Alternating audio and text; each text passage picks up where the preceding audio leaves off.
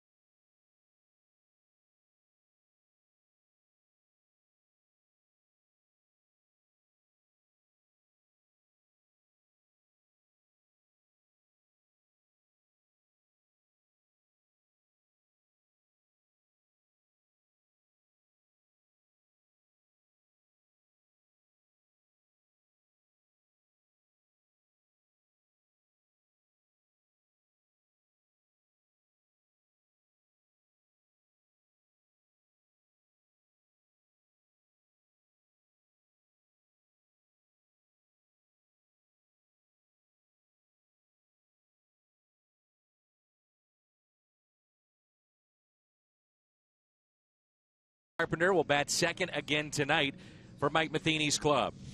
Just how hot is this start? It is historic. Most consecutive multi hit games at home to begin a season.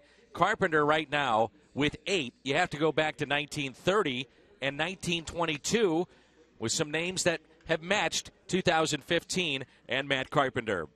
It's Aaron Harang tonight. Carlos Martinez, the Cards, the Phils, Folks, just outside Ballpark Village.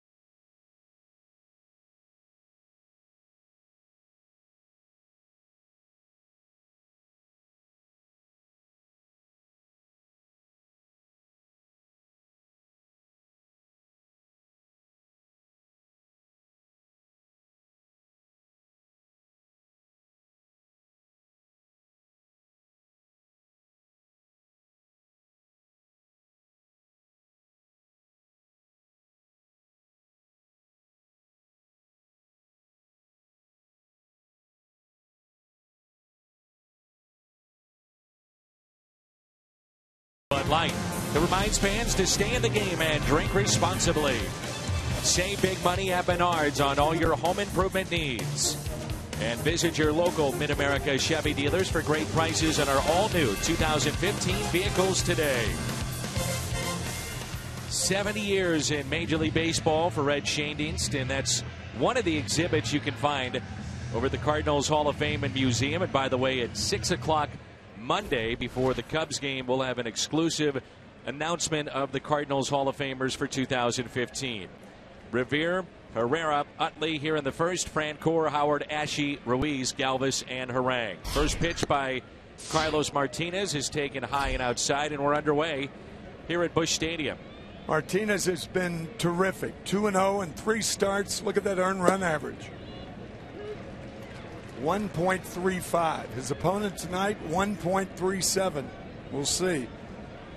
The changeup has been a difference maker this year for Carlos Martinez, now in the starting rotation, and Tim, in particular, against left handed batters. Well, you, mentioned that. I mean, uh, it's absolutely, as a starter, you've got to have an off speed pitch.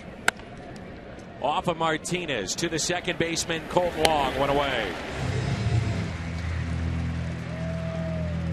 Look at the Hyundai pitch arsenal this year for Carlos Martinez. Little you smile. You never saw that when he was in the bullpen. That breakdown right there because the changeup did not exist. Fastball slider from the bullpen. If he doesn't get a piece of that, that's probably a lead, uh, leadoff hit. Good carom to Wong as far as the Cardinals were concerned. Martinez fields his position as well as anybody. So quick. Former shortstop mm-hmm. in the Red Sox organization. Now it's Herrera and he chops it foul. Herrera had his sixth double of the season last night. Eight extra base hits. Most by a Phillies rookie in April. He could play a little bit, huh? Fun to watch. Yeah, he is. Good speed. Good center fielder. Power.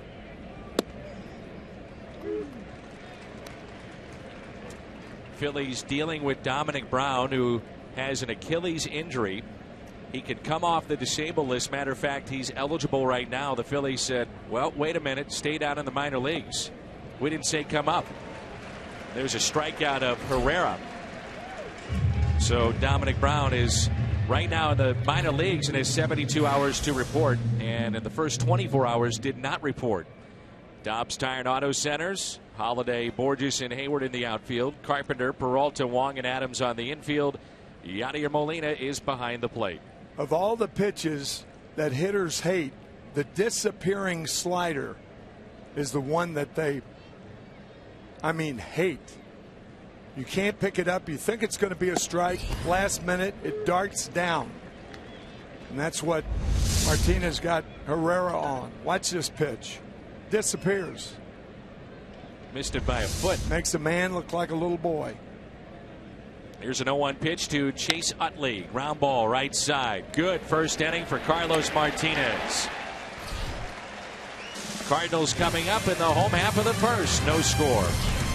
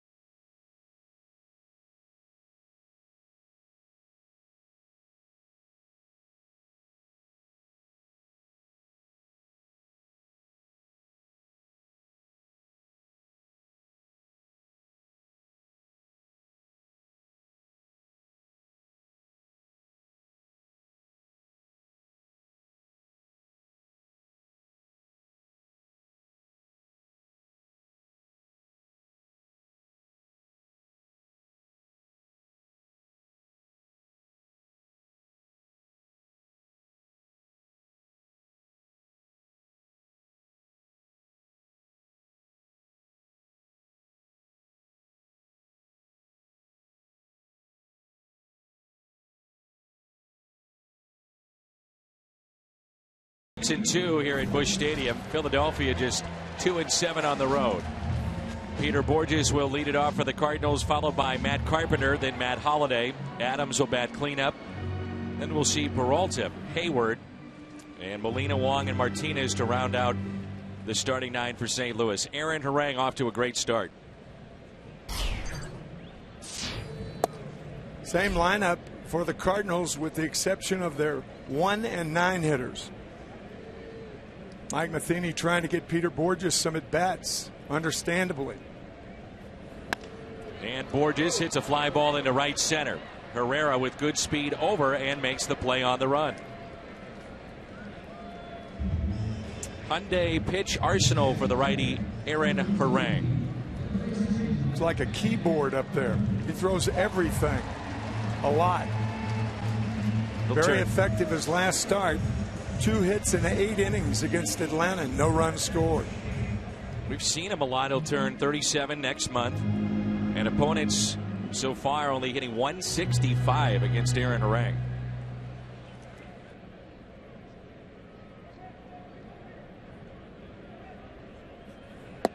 And a strike to Matt Carpenter, who is third in the National League in hitting at 380. And his teammate on deck is fourth, Matt Holliday at 383. He has not had a bad at bat all year. He's made some outs, obviously.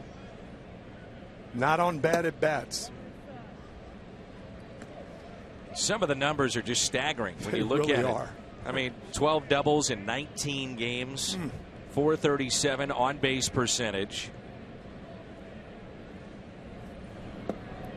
53 doubles two years ago. Most doubles since Stan Musial had 55 in 1953. And when you're next to Stan Musial in any offensive category, that's pretty good. There's a ground ball and it's pulled foul. Let's take a look at the pregame. Uh, Dan and I were watching Harang warm up. He warmed up with a weighted ball, even throwing a curveball with a weighted ball from about eh, 30 feet.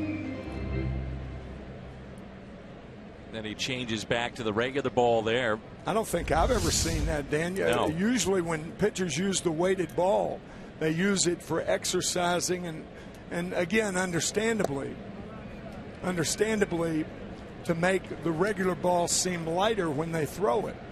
But to actually throw a weighted ball, I don't think I've ever seen a pitcher do that. Three and two, the count on Carpenter.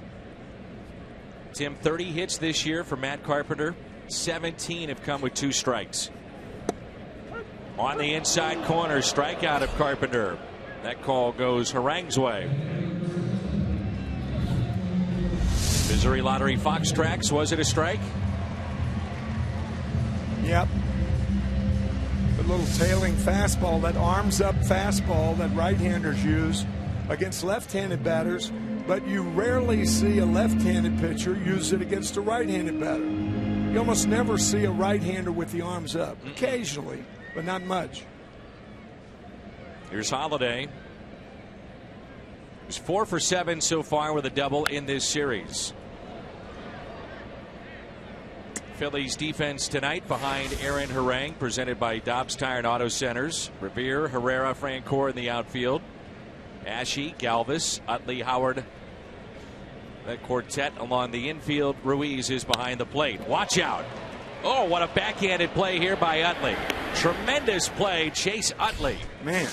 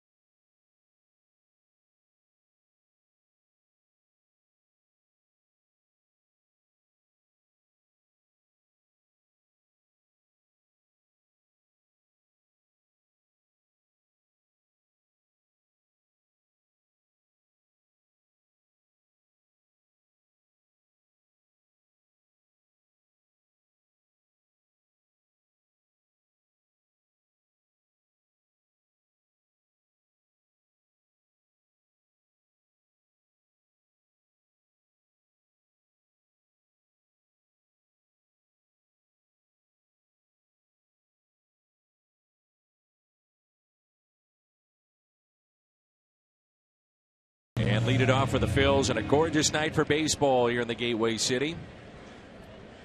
Tim, I was doing some numbers for the Phillies. They're hitting right around 220 as a team. Mm-hmm. But three, four, and five this year in the lineup collectively hitting 159 Oh my gosh. with an on base percentage of 230. Three, four, and five. And in this series, it's been Utley, Francoeur, and Howard. There's Colt Wong again. That's a second odd ball back through the box. One was gloved by Martinez, carom to Wong. And that one was between the wickets of Carlos. Two adventurous plays by Wong. Certainly not routine four to three putouts. That did it went right right through his legs, yeah, didn't it? yeah. At first, I thought it may have got him a little bit, but that went right through the legs. Mm-hmm. Here's Ryan Howard and the shift used on the big slugger from St. Louis. Backhanded by Wong, shallow right field, and he makes the play. How about that? A second baseman with an arm strong enough to play shallow right field, go to his right, and still get his man. Carpenter diving for the ball. There's Carpenter on his stomach. How about that play? He gives you glimpses, doesn't he, of just how good he could be? I think the only guy in the National League with a stronger arm as a second baseman is Danny Espinosa. We saw him last week with Washington. Cody Asche, and a strike. So that last pitch at 95, velocity for Martinez has dipped a little bit, but that's a byproduct of being a starter. That's hit at a center field, trying to go deeper into games. Not that he's pacing himself Right. in the process either. That's the that's the the slippery wicket as a starter. I was trying to think of what term I could use. I don't know how it came out of sli- slippery wicket. I guess we've used it once this inning. But I mean, it really uh, you're not pacing yourself. It's that your fastball is better when you're in a jam, like Justin Verlander. I think he's the the prototypical starting pitcher. He starts out with a fastball that's not quite as fast as it would be in the middle innings or in the early innings when he's in trouble. Real key when you talk to the Cardinals personnel about Martinez, the one word you hear all the time efficiency. You know, can he get you past six innings? There's a ground ball that's hit to short. And a flip to Kolten Wong. 6 4 on the fielder's choice.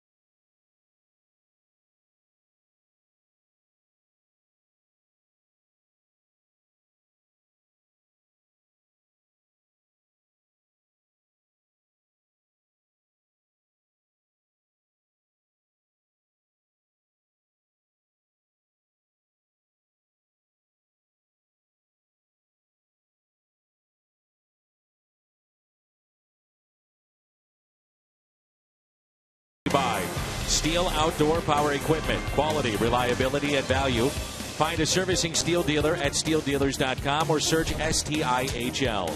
And by Ford, the official cars and trucks of the St. Louis Cardinals.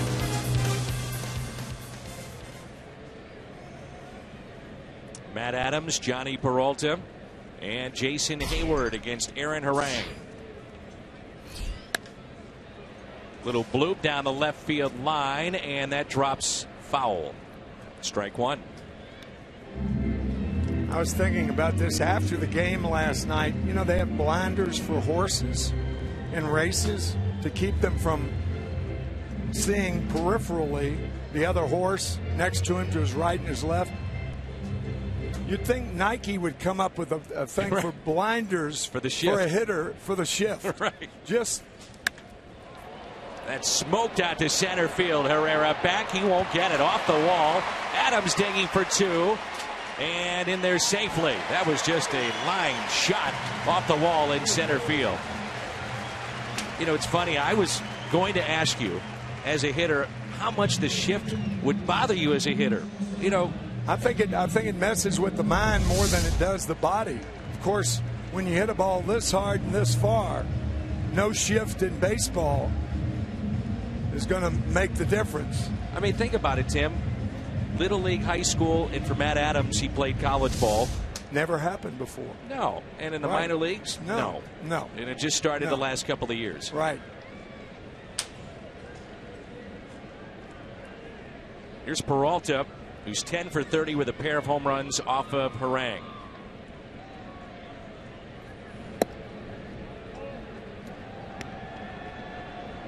I mean, when you hit a ball hard enough for there to be a play on you at second base on a carom off the center field wall, that ball got out there in a hurry. Even though Matt is a slow runner, I understand that. It's sharply to third. Cody Asche looking back. Matt Adams.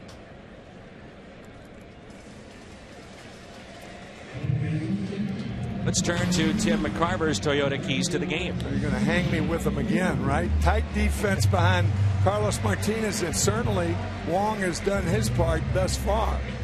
And production from the one hole, Peter Bourjos, coming into this game seven for 15. And Mike Matheny saying before the game that he is determined to get Peter Bourjos some at bats. Because before the season's over, they're going to need him. Here's Jason Heyward. You think about it, if you're a championship team, more times than not, when you go back and look at teams that win a division, go deep into a postseason, really their roster will be about 30, 35 deep before it's all said and done. The mm -hmm. players that they have to use. Right.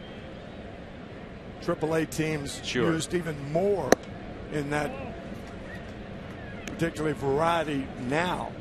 It's almost an extension of your major league team. Jon Jay the night off, at least for the time being. One ball and one strike on Heyward. Heyward, base hit into left. Adams had to make sure that that got through. It's bobbled, and he'll stay put at third.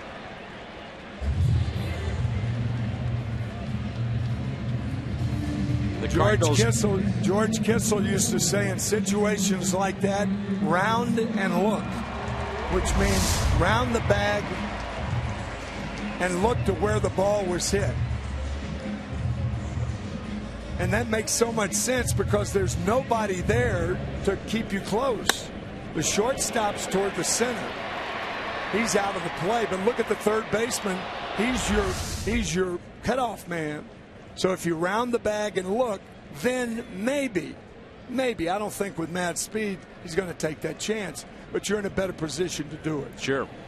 Here's Yadier Molina, runners at first and third. Now time is called. The Cardinals last night were 8 for 15 with runners in scoring position in game one against Cole Hamels primarily, and in the game before that against Milwaukee, 4 for 32. Ooh. So one out, two on. Down the right field line and out of play. Good to see Jason Heyward doing what he was practicing doing yesterday, hitting the ball to left field and up the middle. Stay away from that 4 3 putout. I think a drop in the lineup takes a little pressure off of him right now, too. Sure, absolutely. No balls and a strike. Harang steps off the pitching rubber.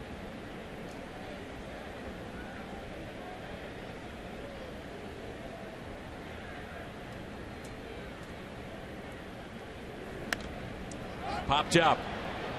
Got in on the hands of Molina, and it's Howard who takes it. Two away. Big out there.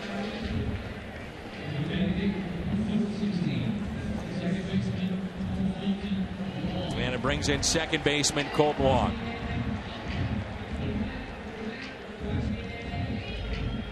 Tim, I'm not sure it will happen.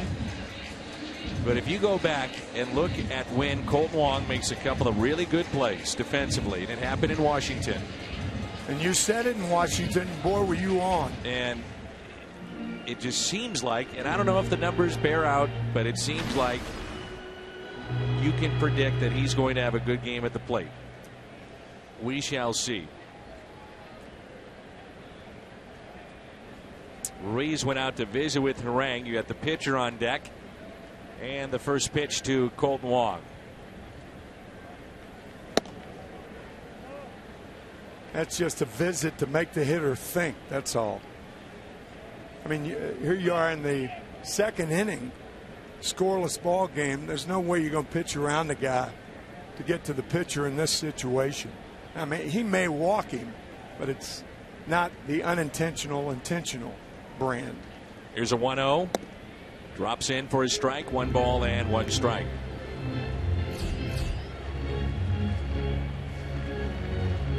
Mentioned that Harang's ERA is 1.37. Only other time he had an opening month ERA under three was in 2008. He was with Cincinnati at that time. The 1 1. Eight years with the Reds. Originally drafted by Texas, did not sign, then back in the draft as he went to college. Signed by Oakland. He's been with San Diego, the Dodgers, Seattle, the Mets, and Atlanta. Here's a 2 1.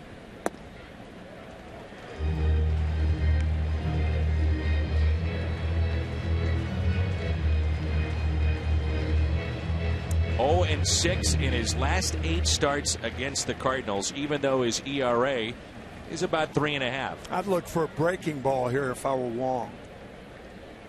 The 3 1. He got it. There's your base hit into center field.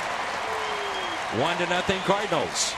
Kolten Wong comes through with RBI number seven. I don't think Kolten would have done that last year, but he's matured. He gets the breaking ball, hammers it right back up the middle. Good hitting, good thinking by Wong.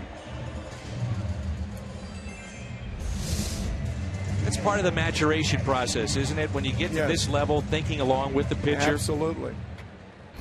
You know all those trips to the mound that Wong makes. You know. Yeah. It's uh, a, a lot of experience in those trips to the mound. There's Carlos Martinez. And I go back to last night, early innings with Severino Gonzalez, the 22 year old making his major league debut, a control pitcher. And you get to this level, and when you're a control pitcher in the minor leagues, the guys up here, more times than not, they stay away. Yeah. So then you yes. edge a little bit closer, and that's when you get beat around.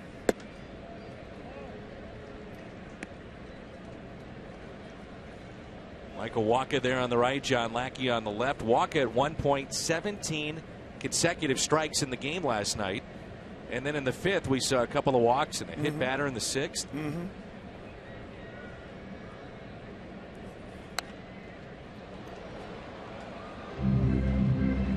Also helped his cause at the plate. A couple of RBIs, one ball and two strikes.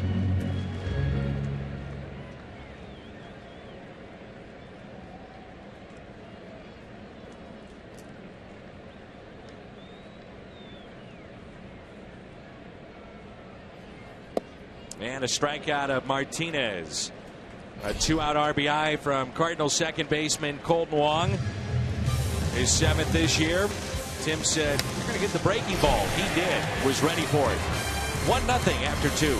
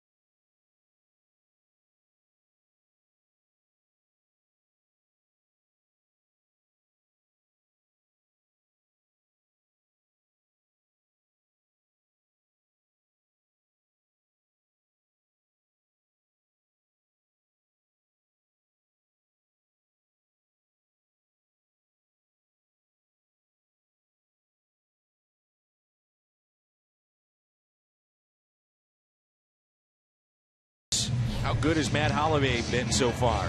He's off to a ridiculous start. Came into the game hitting 383, a major league leading on base percentage of 500, and he's hitting 600 with runners in scoring position. So I asked Matt his take on what he's done so far, and he told me he's hit the ball well, but he wishes he had more homers and doubles. He told me he doesn't focus on the power numbers, just taking good at bats, but he says for whatever reason, he's just not getting much loft on the ball. He says it could be that his swing is a little flat, that he can't quite get under the ball. But he says you start thinking about it and you could mess everything up. And Dan, he says he's confident the homers will come. Until then, he'll just keep trying to hit the ball hard, which he's done and then some. All right, Jimmy, thanks. I think that's uh, that's really a well thought out point because you can't force home runs. Home runs are a matter of loft often, not necessarily strength. That's what uh, Matt has, has said. You can't force it. And is he ever right? One ball, one strike on Aaron Harang. Boy, Kolten Wong has been busy so far. Part of, what, five different plays? I can't believe I just saw that. Aaron Harang with a base hit. All due respect, when he was with Cincinnati, I had a better chance. wow. Well, your former college catcher. Again. brutal catcher, brutal hitter. Wow. MLB on Fox Sports 1 continues with another doubleheader starting on uh, the West Coast Interleague Showdown, Angels and Giants. Then the Reds squaring off against the Braves. Coverage begins at 2:30 on your home for baseball every Saturday, Fox Sports One. Why do you continue catching in the fantasy camps then? Well, you leave me messages that make me realize there's no reason I should ever do. Don't you ever do me, that yeah, again. I told you last year, don't ever do that again. I heard you caught. Don't do that. The nastiest message. Dan, and I meant every word Tim. of it. I said, oh man, he's really mad now. Don't do that.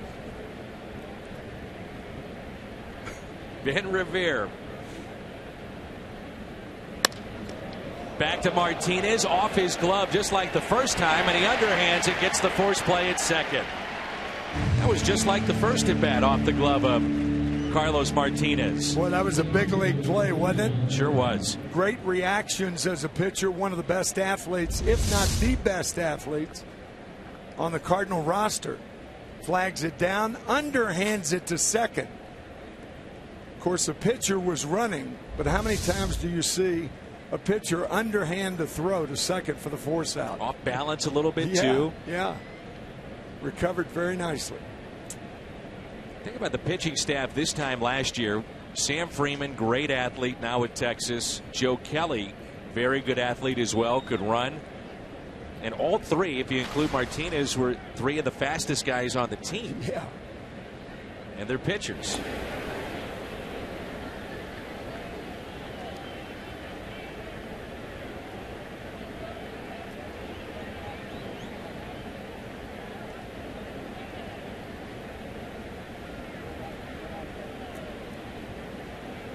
So two outs and Herrera. Herrera is playing above double A for the first time in his career. And he's made an impression. Led the Texas League in hitting last year with a 321 average. Good looking player. Rule 5 guy. You know, you talk to the Phillies, Cole Hamels, who knows about Utley and Howard, but Hamels the big chip out there clearly. And they mention position players. They need them. And everybody is safe.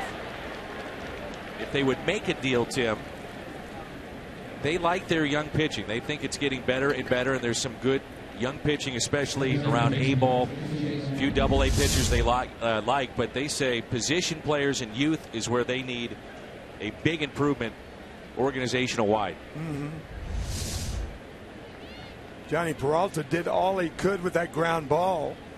Sometimes balls are hit where nobody is. So here is Chase Utley. 20 strikes of the 25 pitches he's thrown.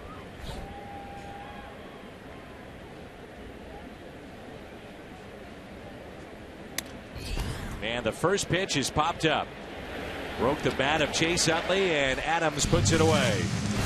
Phillies strand two. They've left three on tonight. We're midway through three. Cardinals on top.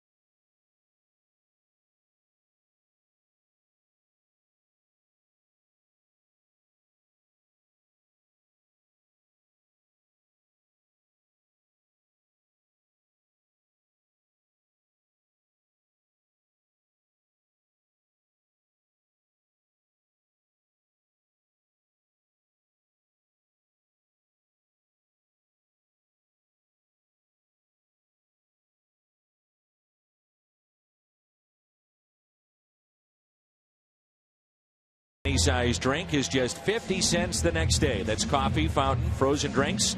When they score, you pour at your nearest on the run. You earned it. Top of the lineup for the Cardinals and Peter Bourjos. showing bunt and a strike. Peter flied out to right center field first time up. Peter trying to bunt the ball to first base. Ryan Howard was playing him back. He gets it down, probably a hit. As everybody knows, he can fly.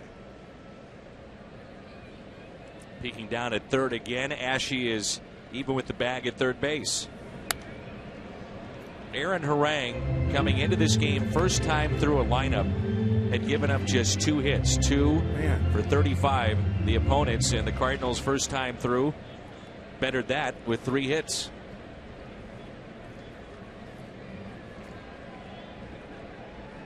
Oh two pitch and a strikeout of Bourjos. Ruiz finds it. Third strikeout for the right-hander Aaron Harang. Well, think about it, Dan. For a team that's not a home run hitting team, how are you going to score if you don't bunch hits? That's the way it's got to be. It, it, that's the way it's got to be. And the Cardinals clearly have hit doubles, most of them coming from Matt Carpenter. Holliday told Jim about the home runs. Right. It's on his mind, but he has not hit a home run except one in Milwaukee. So you're going to have to bunch hits together. Right. Preferably with none or one out. And it comes then to the point of base running, of being good base runners very to generate. Important. Very, very important. But in the second inning, Matt Adams leads off with a double and scores the only run of the game.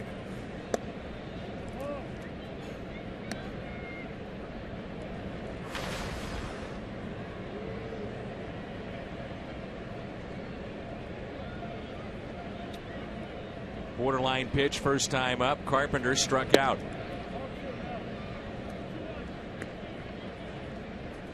Two balls in one strike.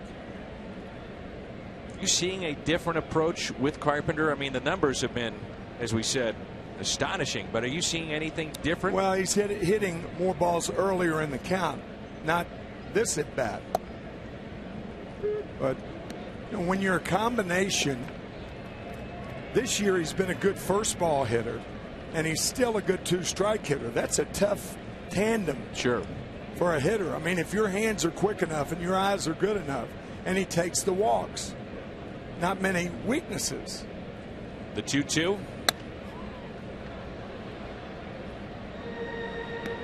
The confidence to hit with two strikes. You don't hear many say, Boy, I love hitting with two strikes. No. Matt no. Carpenter says, And I invite it. We pointed it out last night. I think he's a power hitter with two strikes. Sure. And most guys that hit that are good two strike hitters are content in just hitting the ball the other way, just putting the bat on the ball. Not Matt. 2 2 swung on and missed, and he strikes out for the second time. So three in a row for Harang with the strikeouts and four total. Lowest ERAs this season. DeSclafani of Cincinnati, Scherzer, Zack Greinke, Carlos Martinez, and Aaron Harang. I think you would expect Scherzer and Greinke. The other three, not so much. Greinke going tonight for the Dodgers against San Francisco at Dodger Stadium. Talk in Cincinnati that Homer Bailey could be done for the year. Oh boy.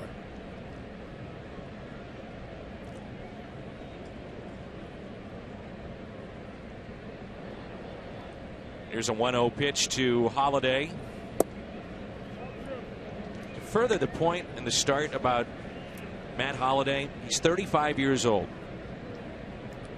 He's going to hit 350 for this first month. Only two other Cardinals have done that at this age. Stan the Man and Lance Berkman. Wow. Two pretty good hitters. That's 100 plus years of baseball. By the way, Stan the Man, 528. Month of April, age 37.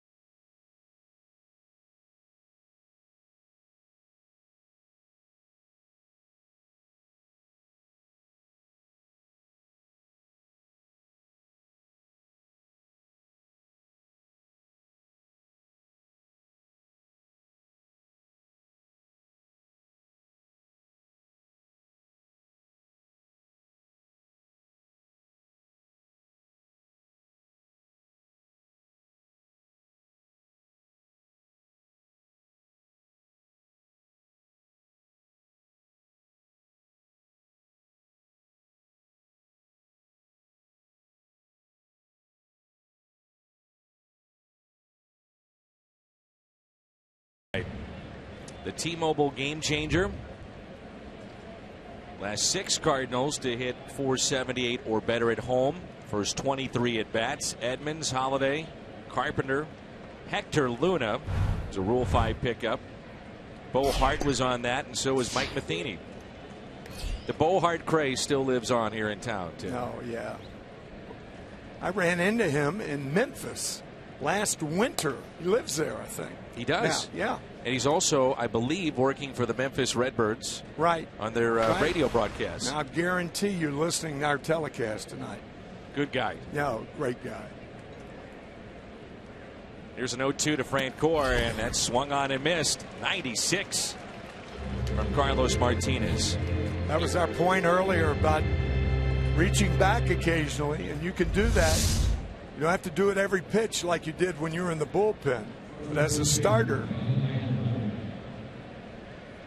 eye high. You know, Tony La Russa, when young players came through, was always very careful about if they got on fire and made a name for themselves. He had a way of making sure to keep things, egos, keep them level. Keep them level. Mm-hmm. We're in Kansas City, and this is Ryan Howard. And Bo Hart is the talk of baseball. I mean, he is on fire. He's mm-hmm. making every play. He's hitting home runs. We're thinking, where did this guy come from? He's in. He's turning into an international international sensation. Mm-hmm. And so we're sitting in the office with Tony La Russa, and ESPN Radio called, and one of the Cardinals personnel came in and said, Tony, I know you probably don't want to hear this. ESPN Radio and TV would like to do an interview with Bo Hart. So I'll go ahead and tell him that Bo is unavailable. I'm sure, pretty much assuming that's what you want. He said, no. He said, God bless Bo Hart. He may not be here in two more weeks, and we may never see him again. Give him every interview he can get. Oh, that's great. And he said, get him out that's there. great story. Get him out there. And he's the only guy I've ever heard him do that with. Mm-hmm. But he knew. Mm-hmm. You know, it's it was a great story at the time. You didn't know how long he was going to last. But it was fun while it lasted. Mm-hmm. Bo Hart. Bo Hart was all heart. He was. The 3 1 pitch. And Howard hits a high fly ball out to deep right. Heyward is back at the wall, and it's gone. Heyward thought he had it. Instead, a solo home run for Ryan Howard, his fourth. And his 10th RBI ties it up at 1 1. I think what Jason is mad at is at himself that he get, didn't get back to the fence. The fence is not going to move. Outfielders are trained to do that. Get to the fence, and then if you have to come back, you can see him reaching, but he's not there in time to jump and make the catch at the apex. Otherwise, I think he makes that play. Almost back to the wall and, and somewhat flat footed instead of the momentum coming well, back to it? it? That's because he arrived at the wall the same time the ball did. Good tailing action on that pitch. Ryan Howard has played in 33 games at this ballpark against his hometown team. 11 home runs, 39 RBIs, and he's hit 350 against the Cardinals.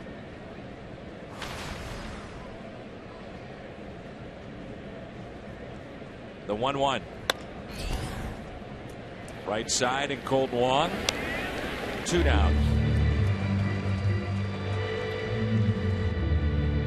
This Sunday, the Cardinals wrap up their series with the Pirates. It's an ice cream Sunday presented by Prairie Farms. Get here early while supplies last. Also, kids will get a free ticket voucher to a future home game for this year.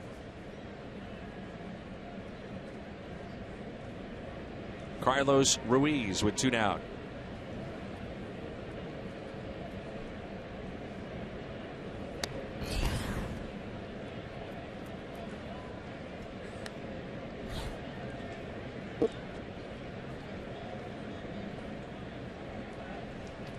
Ruiz grounded out his first time up. You know, when you think about that play with Heyward, by, by no means was it a, a sure catch or anything like that. But if Jason's back at the wall and doesn't have the glove flop over, has it sticking straight up, then his chances of making that play are much, much better. But when the glove went up, somehow his wrist got caught on the fence. Yeah. and there was uh, there was a full extension. Seeing his reaction, even Yeah. though it had been a tough play, it's almost one of those that you think he says, I should have made it. What a play that is. Jhonny Peralta to his left and spinning to get Ruiz. Nicely done from the Cardinals shortstop. Comes up with a great play, and this was almost a great play. That close.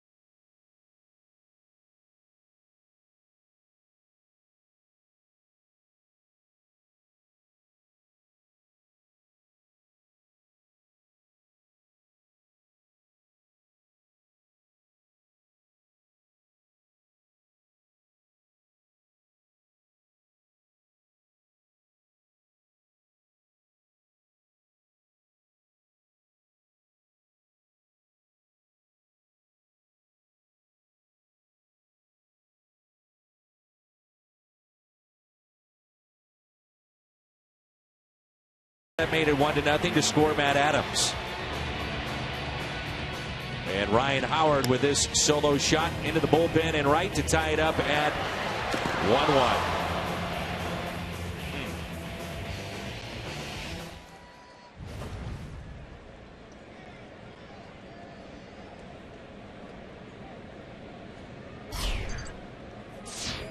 1. A strike to Adams. That was career home run number 338 in the, uh, I think, really good career of Ryan Howard.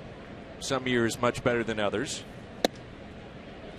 And that's the second highest all time total among players born in the state of Missouri behind Yogi Berra, born in St. Louis. He had 358 career home runs. Lawrence, You got it. great soccer player on the hill, down the street from Joe Garagiola. Tim, can you believe this stat?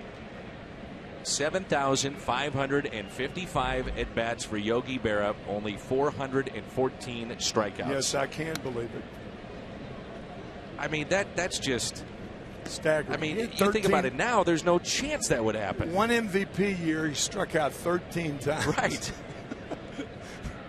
it's incredible. Like 580 at bats or plate appearances. He has the most World Series rings ever 10. as a player Right. and then 5 as a coach. So 15 Ted Williams called him the best clutch hitter ever to play for the Yankees. that right? That's with Babe Ruth, Lou Gehrig, Joe DiMaggio. I think Williams said it as a as a, a, a gnarled compliment to to Yogi because of DiMaggio. Sure. You know that uh, Right, and- right. And, this really upset DiMaggio. I could when, imagine. When Williams said that. But Williams wanted to be number one, so whether Ted believed it or not, I don't know. In the air to right, Adams is the first out. The Yogiisms through all the years. Great One of the character. smartest people.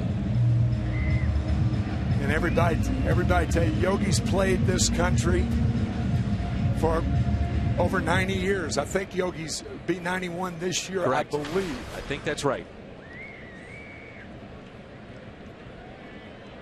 He had a falling out for a while with the boss and Yep. with the Yankees, but then before Steinbrenner passed away, those two had made up and was back with the Yankees. 14 years, he would not go to Yankee Stadium. They had a meeting arranged by Suzyn Waldman, who is a an announcer for the Yankees, with John Sterling. Sterling, right? And um, the meeting was scheduled for five o'clock. George shows up at 5:20, and guess what? Yogi's first words were. First time he spoken to him. Peralta high fly ball into right center. Out number two. In 14 years, Yogi's first words to George were, "You're late." Is that right? And that levels the playing field. Right. I mean, Yogi's in charge. That's why he's so smart. He said, "You're late." Broke the ice. Uh, and Put him in the position of the put him in a position looking down. Right. That's right. And the day he comes back on Yogi Berra Day, David Cone pitches a no a perfect game with Don Larsen in the building. Amazing. Now that's spooky. That's amazing. It really is. Strike two, Jason Heyward. I think that was July 19th, 1998. 99. David Wells was 98, and then Cone's, or was Cone's first? David Wells was 98. David's was second Yeah. about 14, 14 months later I believe that's right. And in 99. Here's a 1 1. Chop to the right side. Howard, glove, spins, no play. Heyward aboard.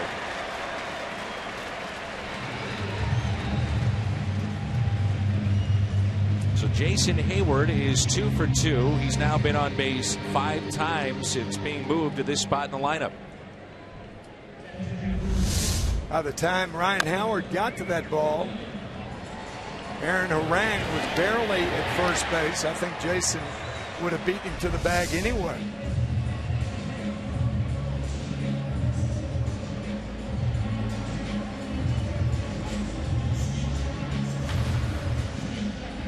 So a two out base hit. It brings in Yadier Molina. To sum it up, Dan, I think anybody who's ever met Yogi Berra will have to agree that there is something, maybe not everything, but there's something mystical about the man. He walked into KMOX to promote a book, one of his many books that he's written. And there is something to be said about that. When he walked down the halls, and this is probably, you know, five, seven years ago. You expect to see a halo around his head. Exactly. You know, a tiny guy walking through the halls, smiling, laughing, shaking hands, taking pictures, and just people in awe of Yogi Berra. Really neat to see. Pretty funny, too. Oh my gosh.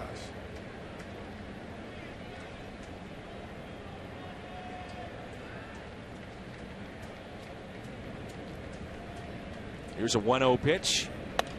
And Molina hits it down the left field line. Well hit. Revere is over and he makes the play, jumping up against the wall. Speed helps, doesn't it, Dan? He had it last night. We saw a nice play down the left field line, and Ben Revere with this play off the bat of Yadier Molina. Not quite Bo Jackson scaling the wall, but not bad either.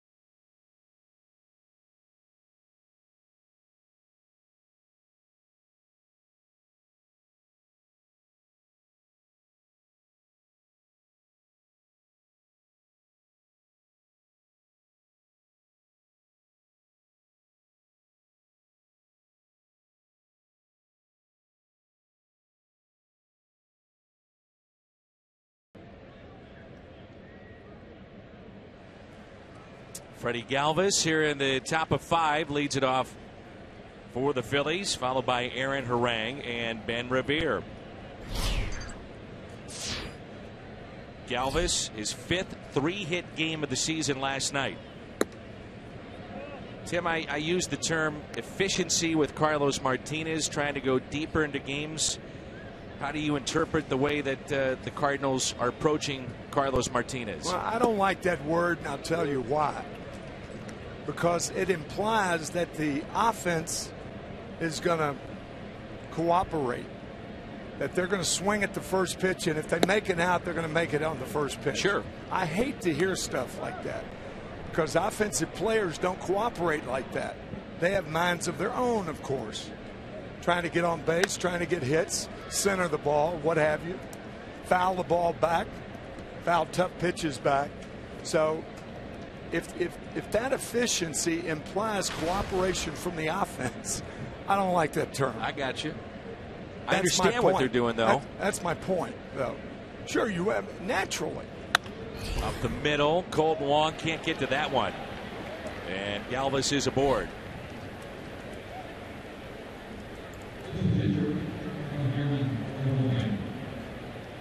BJC Healthcare difference makers tonight are starters. Rang made his debut in 2002. Martinez in 2013 when he lit up the bullpen of the Cardinals in a championship run. So the grizzled veteran, if you will, against the young gun, Carlos Martinez. Harang with a base hit into right center, first time up. Example Doc Gooden had one of the greatest years in the history of the game in 1985. 24 and 4 with a 1.53 earned run average. The following spring, all the articles in New York were saying Doc Gooden's got to keep the ball down and have quicker innings. That was the beginning of his demise and other things, the drugs and all that yeah. sort of stuff. He had he had uh, monster problems off the field, but he won, I think, 17 the World Championship year. But that was the start of his demise when he started listening to keep the ball down. He wasn't a low ball pitcher. He was a high fastball pitcher with one of the great curveballs in the game. So you're saying four seamers, mid 90s to high 90s, and a great curveball that was truly 12 to 6. Let me tell you, when a guy's 24 and 4 with a 1.53 earned run average, I don't think anybody should have the guts to say that he's got to change his style and pitching. Would Makes make a no lot of sense. sense. Right. Another situation, Mike Schmidt hits 196 his first full year up, but he hit a ton of home runs. They said everything's fine, but he's got to cut down on his strikeouts. What? The guy's only going to get better. He becomes a Hall of Famer, 548 home runs, and never cut down on his mm-hmm. strikeouts because he didn't listen to people. You got to listen to the right people and put the right things in effect, in my opinion. Three and one.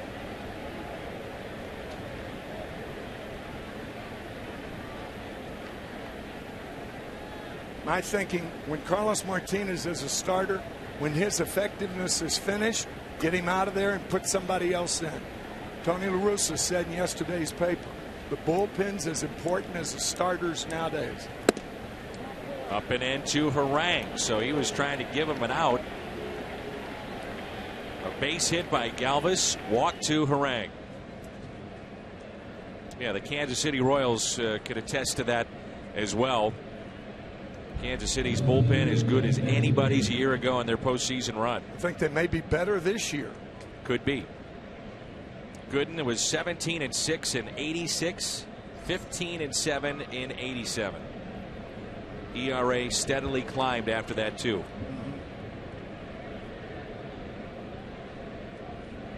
Ben Revere is 0 for 2. The play here might be to second base if he tries to bunt. You have the pitcher running at first. You may just see that here. Molina, though, to third, and they get the lead man. Speaking of Tony La Russa, I would ask him about two players defensively, Yadier Molina Albert Pujols at the time. He said, What makes them great? He said, There are others that have the physical skills that these two possess. He said, They are fearless when it comes to plays like this. And boy, is this an example of that. But you know what helped on that play? Peralta coming behind Galvis right there, that two steps back. Daring Revere to take a shot to left Sure. field, knowing he's not going to do it. Good point. So now it's Herrera with one out, runners at first and second. And Harang is your runner at second base. I mean, the assist went to Yadier Molina on a fine play, but Peralta deserves an assist there, too. Herrera showing bunt. What's he thinking? 1 1 ball game. Go ahead, run at second base. He's going to bunt. We'll leave it up to the next guy. Come on. Ryne Sandberg's going to have a talk with Odubel.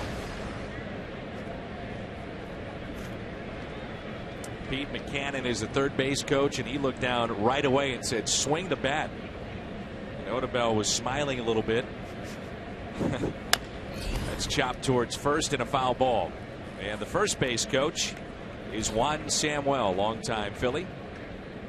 What a player he was. Sammy. Pete Mackanin on the other side, third base coach. Around a long time and a good man.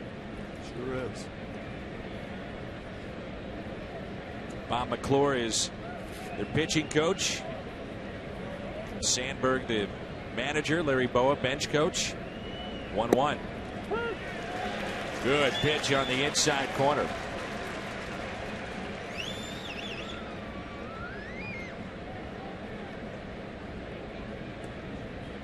Well, Jeff Nelson, who is the home plate umpire and crew chief, punched him out.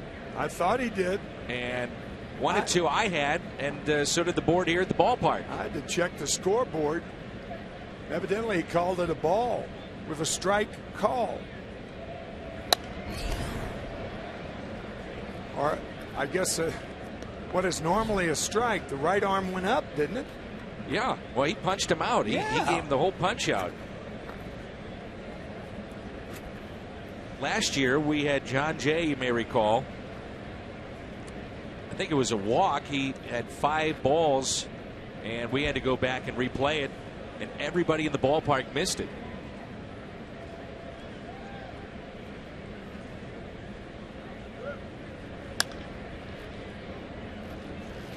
You know, I think.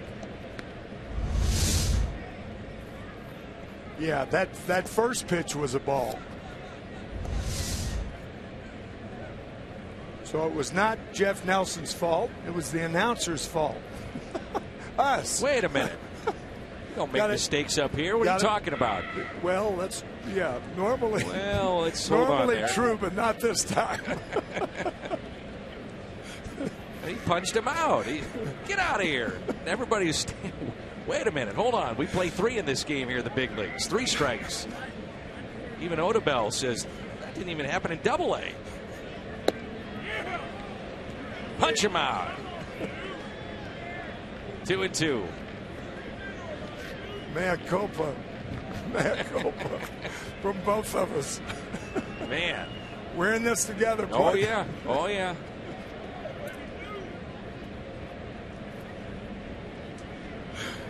Oh gosh, what a great game.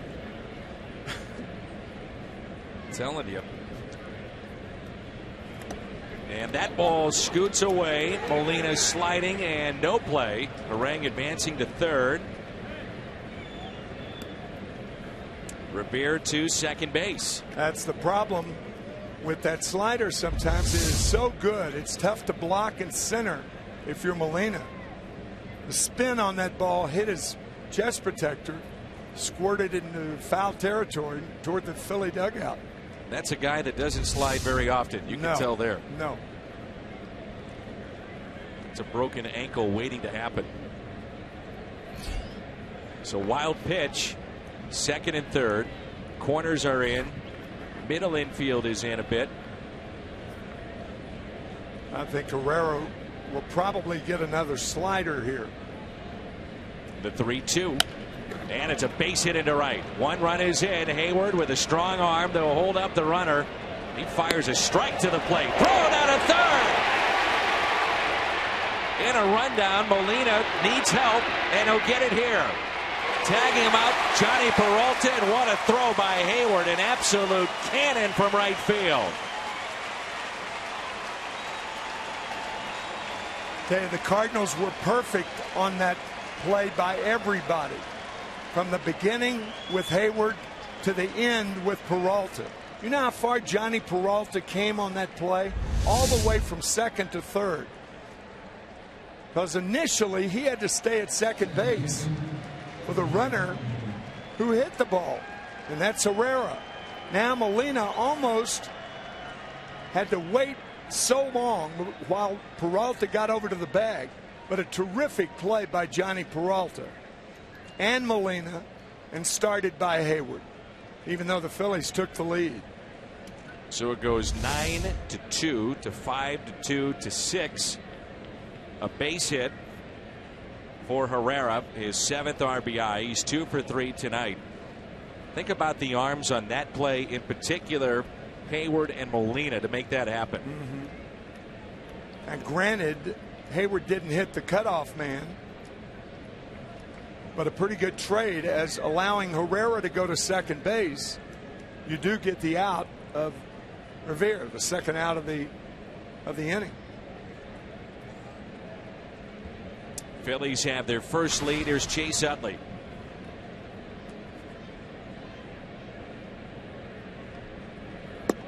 Fastball misses low and away. Talking the other night in game one, thinking about outfielders that really can throw the ball. I mean, you know, what we just saw there Jason Heyward, Jeff Francoeur, certainly. Mm-hmm. There aren't many. Not many at all.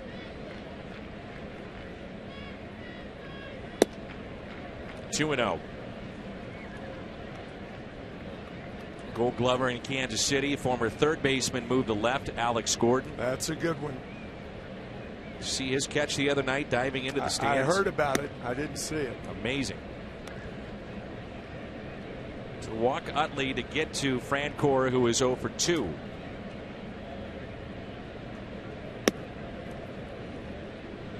So third time through the lineup now for Carlos Martinez. Has hit a little bump in the road.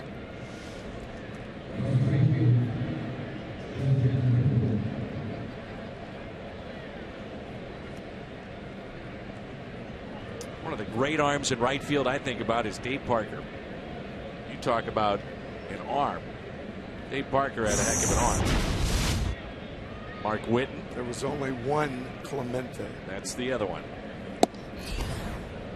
So he's one, and everybody else is one. Every yeah, yeah. That's, you I got, got it. You. you got it.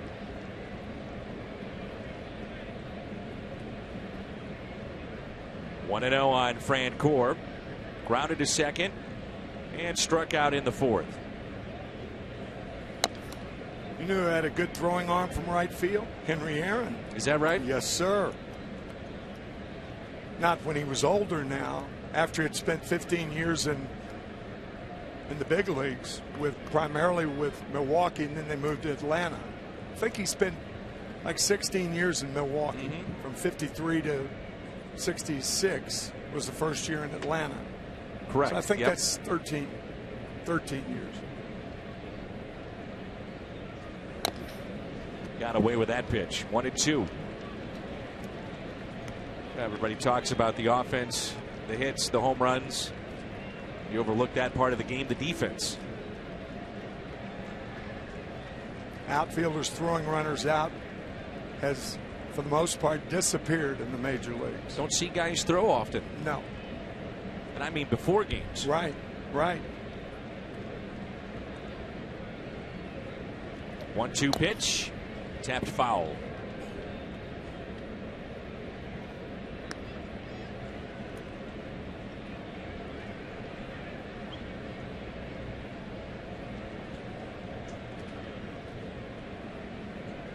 Cardinals have not had an outfield arm like Heyward's in a long time. Jim Edmonds won gold gloves, but his was accurate, not nearly as strong. There's the slider, and Francoeur throws the bat at it and strikes out. Beautiful night here in St. Louis. And it's 2 1 Phillies.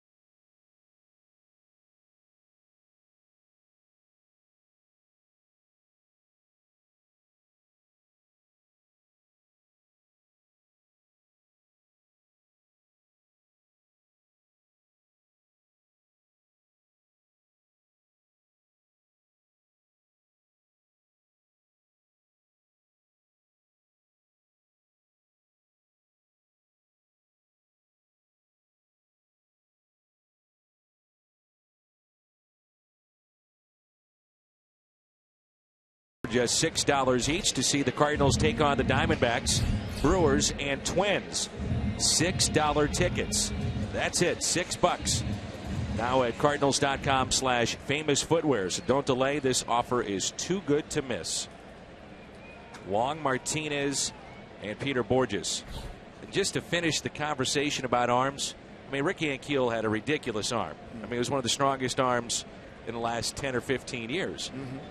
There were two throws that he had in Colorado that Cardinal fans will never forget. The problem was, you know, accuracy, and that's what Clemente had, and Mark Whiten had, Heyward has. You know, you see that they are on the bag or hitting the cut, mm-hmm. one hops, you mm-hmm. know, the true hops that you want to get. That's a base hit into right. Kolten Wong is two for two.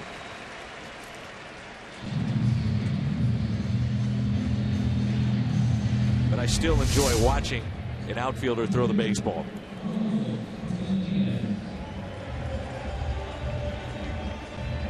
They said his first time up to drive in the only Cardinal run. So Wong two for two. Very important here for Carlos Martinez to get the bunt down. He is a good bunter, by the way. Yes. And he pushes that one foul. Strike one. Almost stepped across the plate. You can do that after you bunt. But not before you bunt, of course. I guess that's stating the obvious, right?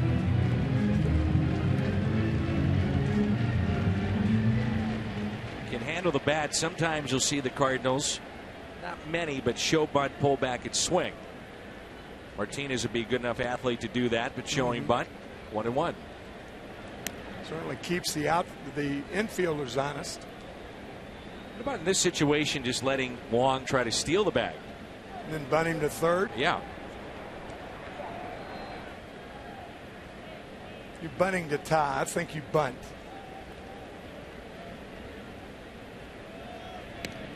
Good bunt. Up the first base line. Only play for Howard is to Utley for the first out. Nicely done by Martinez. Love the drink run with any size, any flavor. McCafe shake for just $1.99 at McDonald's.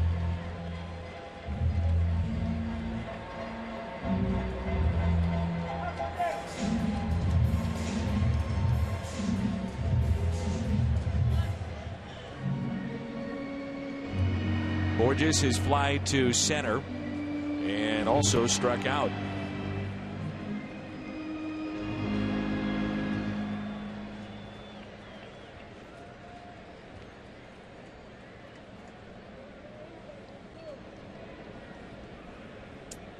Big gap in left center field.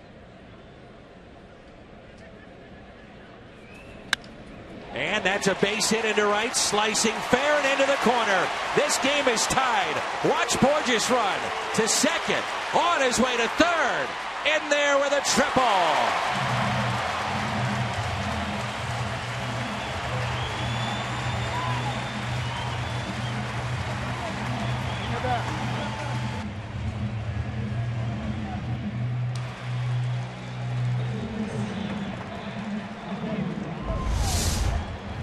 Ball hitting. Hanging slider. Scoots by Jeff Francoeur. Bourjos, his own coach on the bases. In there to tie the game and be at third with one out. Tim, that is exactly what the Cardinals have been trying to preach to Peter Bourjos going the other way. He's been getting that steady diet of you know, middle outer half, the slider, take it the other way, pulls similar, off that pitch. Similar to Jason Heyward. Sure. Jason trying to pull too much. The same with Bourjos. Nice piece of hitting. This game is tied, and now you get Matt Carpenter up. Bourjos led the American League in triples four years ago. Infield is in. Carpenter has struck out twice. And Harang is trying to pound Carpenter inside that's what he struck him out with a fastball on a 3 2 pitch his first time up.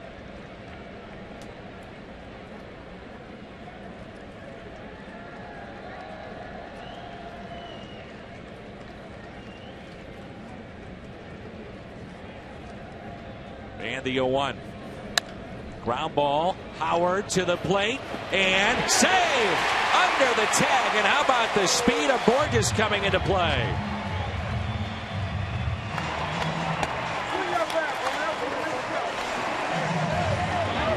With the infield in, we saw Carlos Ruiz of the Phillies scored the other night.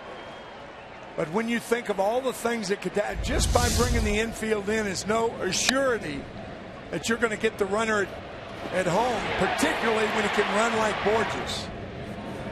Right foot, took off immediately, and scores and gives the Cardinals the lead.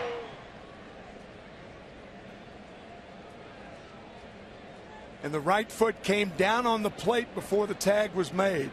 Very good call by Jeff Nelson, the home plate umpire. Ryne Sandberg wants to have a replay of this and challenge. I think that shot we had, the foot was up momentarily, Dan. And before the tag was made, the way I saw it was the foot came back down on the plate.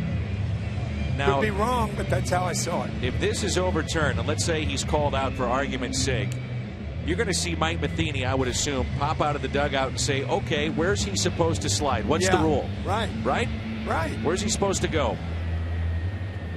What about the catcher blocking home plate? And that's the point.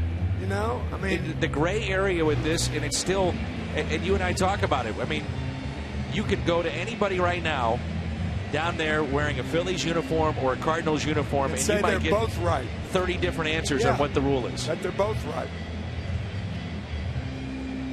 it seems to me that if a catcher blocks the path of a, of a base runner to the point where by blocking that path it creates the out i mean that's that's not legal under the new rules. Correct. It seems to me.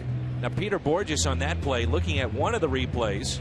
He didn't bowl him over and he, could into him. And if he yeah. wanted to he could have exactly. You know that's the thing is that. But the point you made, I think, is the is the point. What's he supposed to do? Right, and it's supposed to eliminate uh, collisions. However, right, if the catcher is blocking the plate, Peter Bourjos could have bowled him right over and Right. sent him into the front row. Exactly. Because there's not a lane to go for. I think, however, I don't know this for sure, and help me out. Is Sandberg saying that there was really there's no blocking the plate or no uh, bullet, no going in to him, but we think that he made the tag before the foot came down. That's, I think, what he is challenging. And this is what we talked about the other day. You and I had a couple of games, Rick and I, uh, Al as well, and Uh-huh. we've done games where we think he's challenging the tag. That's my assumption here. Let's see what the call is. But there's no explanation, and the call is safe. I think it's the right call. I do too. It'd be interesting to ask Mike Matheny if it was overturned, would you have gone out and said, hey, he's blocking the plate? See, the, the right foot goes up in the air. Up right there. But it comes back down before the tag was made. And Jeff Nelson made the right call to begin with. Cardinals, by the way, Tim, teach their catchers now to actually be roughly three to four inches in front of the plate. Mm-hmm. So the idea is you receive the ball, you're still there to put the tag down, but there's about six to ten inches of a lane for a runner to stick the foot in, the hand in, whatever, towards the left of the catcher. Right. And if you look what- at Ruiz, that's not what- the case. That's what we're, that's what creates the swipe tag. Right. If you're on the plate, you can't swipe tag. He's already he's already touched the plate. Or he's If- in you, the yeah, catcher. Yeah. If you're in front of the plate, you can apply the swipe tag. How about Mike Matheny though, putting Bourjos in the number one hole, coming up in spades here in the fifth inning. Fun to watch guys throw, fun to watch guys run. Here's a 2 0 pitch to Matt Holliday. Used to love watching Willie McGee fly around the oh, bases. Oh, and Bourjos, when he gets it going, I mean, he's one of the fastest players you're going to see in the league. He really is. And that was an interesting trip around the bases for Peter. I'd say. They'll turn him loose on 3 0. Here it comes. Instead, Harang steps off. Holliday robbed by Chase Utley in the first and popped up back in the third.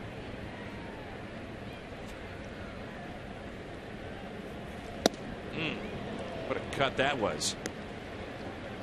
Matt came in with an on base percentage here in the first month of 500.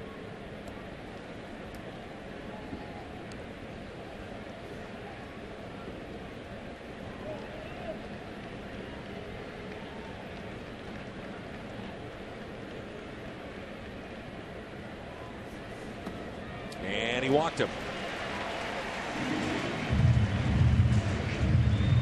First walk issued by Harang. That's part of it. All the walks that Holliday has received this year 15 to go along with an average of 383 at the start of play, fourth best in the National League. So, highest on base percentage this year Holliday, Rizzo, Peterson, Jones, and DJ LeMahieu, who's leading all of baseball in hitting. I remember your comment in Chicago, the first game we did this year on that on that uh, Wednesday Wednesday night or Tuesday night, Tuesday night, I guess, saying that the one thing Matt Holliday told you in spring training that stuck with you was that he had to get off to a better start this year. Well, has he ever done that? And he's even talked about, you know what, I'm 35. Age is catching up a little bit. Sure, sure. I need to get off to a better start as Adams hits it fair. Off the sidewall and a run will score. That's Carpenter. Holliday digging for third and Matt Adams. His second double tonight picks up an RBI.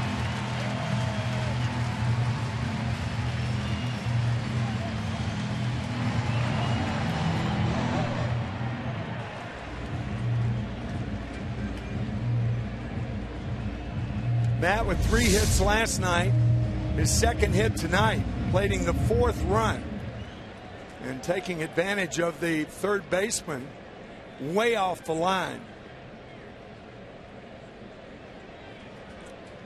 Tim, we were talking with Matt Adams today in the dugout, and he said I love being in this town because every at bat, every game is scrutinized. He said it's, Oh, a, yeah. it's a great baseball town. He said now on the flip side of that, sometimes when you struggle, you know the numbers will be there. You're also screwed. They. The thing about good baseball fans is they scrutinize struggle and they scrutinize great things. Exactly. You got to take the good with the bad or the bad with the good. And that's what he was saying. Yeah. He said, well, you're not going right. I get it. And when I'm going right, I hear the praise. And he said, I, I just love playing in this town because people treat baseball with such reverence and respect. Well, even if you're a great hitter, though, you're going to be scrutinized when you struggle 70% of the time. Right. Best in the world do it three out of ten. Right. You know? Here's Peralta now in the infield in with one out. Runners at second and third in a 4 2 St. Louis lead.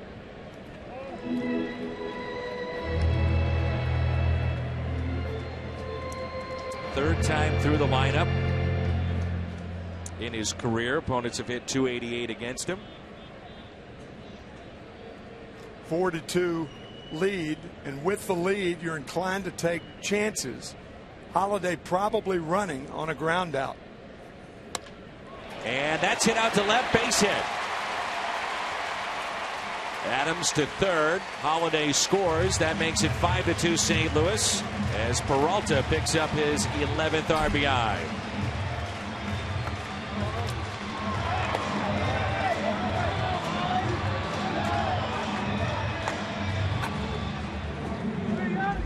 A lot of good noise at Busch Stadium the last two nights. Cardinals doing a lot of things right offensively. Now it's Heyward who's two for two. Aaron Harang has thrown nearly 2,200 innings in his career. And among active pitchers who've never played in the postseason, he has the most innings ever thrown of those that are still around. Felix Hernandez, R.A. Dickey, they have not been to the postseason. And You Felix Hernandez is something. Oh, he? he's awesome. I mean, you never hear a quote by him saying the Mariners don't get him enough runs. Ever. You talk about a lack of run support. Oh. Man, Oh, dreadful since his career began. exactly. 0 1 pitch now to Heyward. And where he plays, you're not going to hear a lot about him either. No, that's Seattle. true. That, that's a very good point. Late night games. So Philly, Atlanta, Mariners, Mets, Dodgers, Padres, Cincinnati. That's where he spent. From a, from a Most time. geographic standpoint, there's nothing the Mariners can do about that. No. And there's nothing baseball can do about that. They'll travel about 42,000 miles this year. Hmm. Hmm. Most by a wide margin in baseball. Heyward a swing and a miss. And Harang gets a much needed strikeout, his fifth.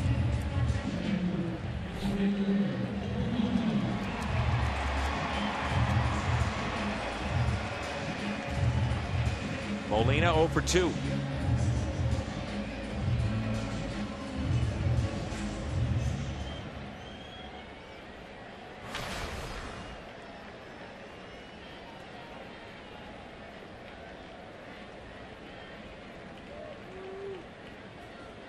Molina up the middle. Will it find a hole?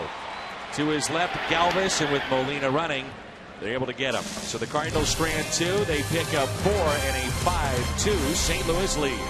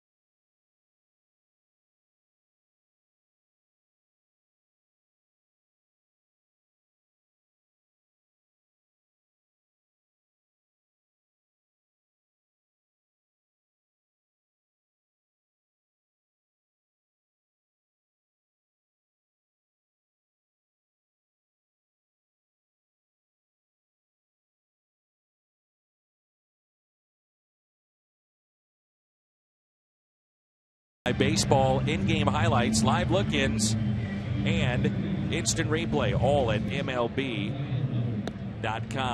5 2 lead, top of the six rolls in.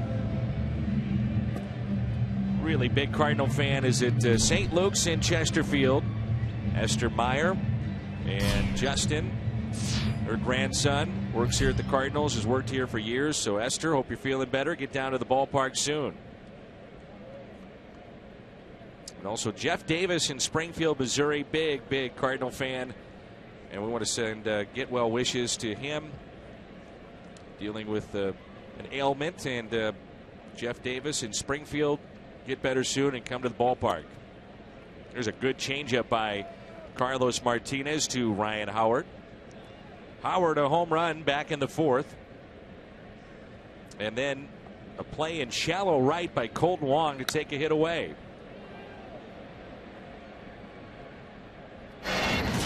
Really the lone bright spot tonight for Philadelphia.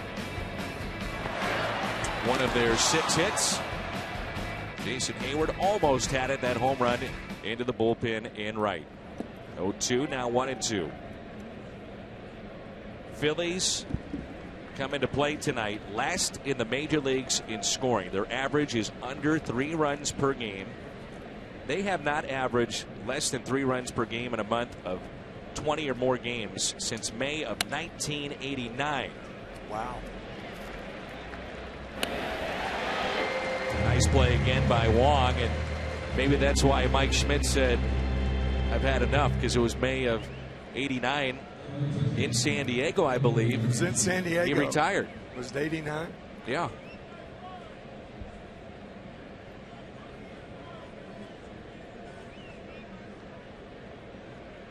There's Cody Asche, one for two. Speaking of Mike Schmidt, talks to Cody at least once a week. If I were a third baseman in the major leagues, he'd be the guy I'd want to talk to. None better in the history of the game. Hit up the middle to his left, Peralta. Two down.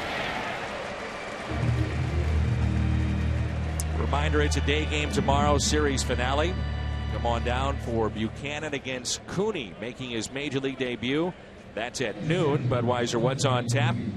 Head on over to Ballpark Village afterwards, the Rams' official draft party. Busy day of sports here in downtown St. Louis.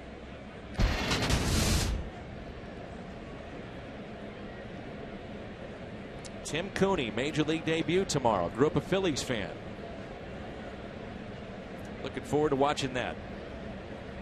Carlos Ruiz 0 for 2. He was robbed by Peralta his first time up, and that's taken just a bit high.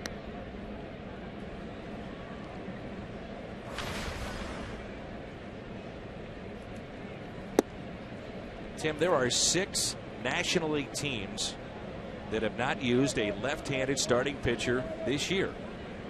I mean, we're a month into the season just about. Mm-hmm. The plight of left-handed starters. Arizona, Cincinnati, Miami, Milwaukee, San Diego, the Cardinals. Just the second time in the modern era. So that's since 1900 that six teams in one league have gone this long in a season without using a lefty starter. It's that rare.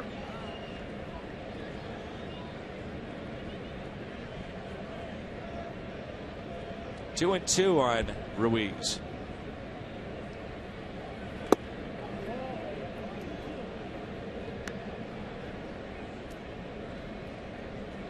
There's no question left-handed starters can get by with less. They can't throw the ball straight. That's the biggest reason. Right-handers have to use finger pressure, cut a ball, sail a ball, sink a ball. Left-handers do it more normally than right-handers. Probably the biggest reason. Get a left-handed throwing outfielder. Can't throw the ball straight. That becomes a real problem. Mm-hmm. Darryl Strawberry, strong arm. Darryl Strawberry, by the way, who lives in St. Louis now. Lives in St. Charles. Yeah, yeah.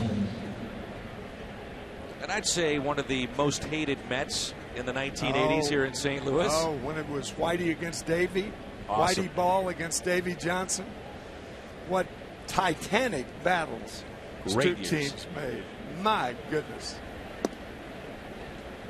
This year celebrating the 30th anniversary of the 85 championship team. And Whitey Herzog telling us the other day most publications had him going into that year as the first manager to be fired. And then he goes out and they go to the World Series. And if not for a bad call, you never know in game six of the World Series in Kansas City. Maybe Whitey gets his second championship here in St. Louis.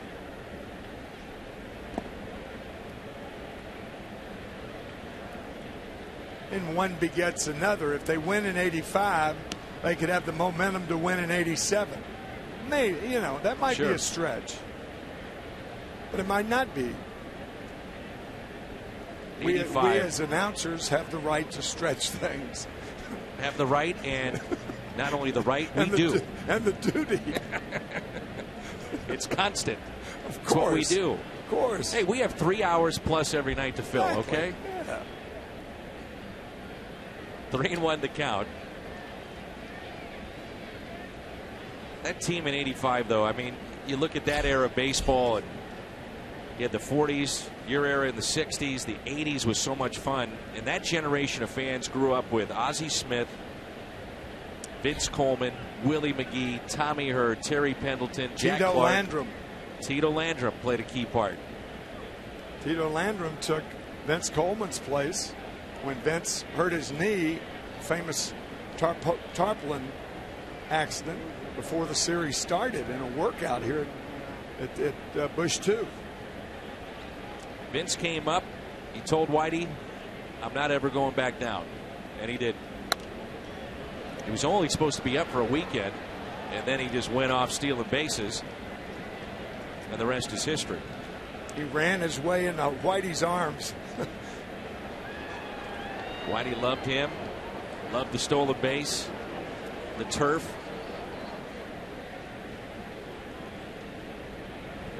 Three two. Wong to his left, spins and makes the play. We're midway through six. Cardinals on top five two.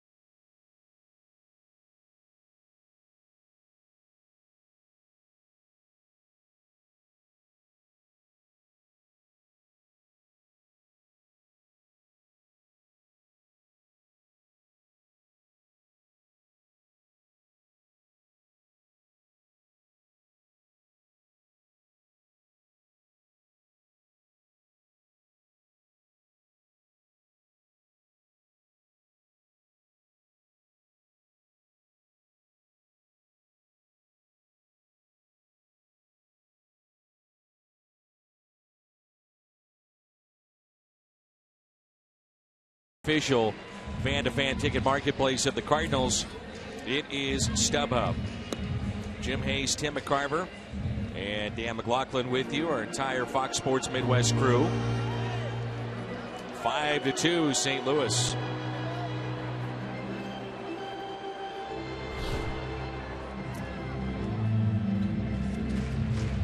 There have been many great magicians and soothsayers in the history of this world. I'm sitting next to one. When you say Kolten Wong, when he makes a good play in the field, he has a good night with the bat. This is the second night in the last eight that you've said that, and you've been right on both counts. Well, Wong should then come find me, and we'll talk before every game. Little agent action? Absolutely. you know, go over to his bats, his gloves, talk I, to them I too. I understand. It's all about money. Mm-hmm.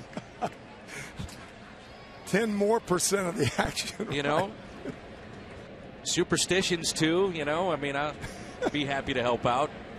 Take my normal cut of 53.7%. no big deal.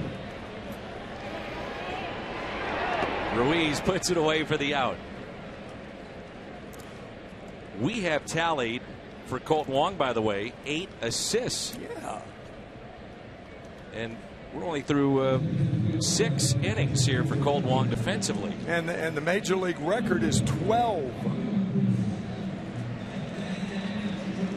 DJ LeMahieu. That's of a, a nine inning game. That was set back in 2012. So that's it for Carlos Martinez. Mark Reynolds will be the pinch hitter.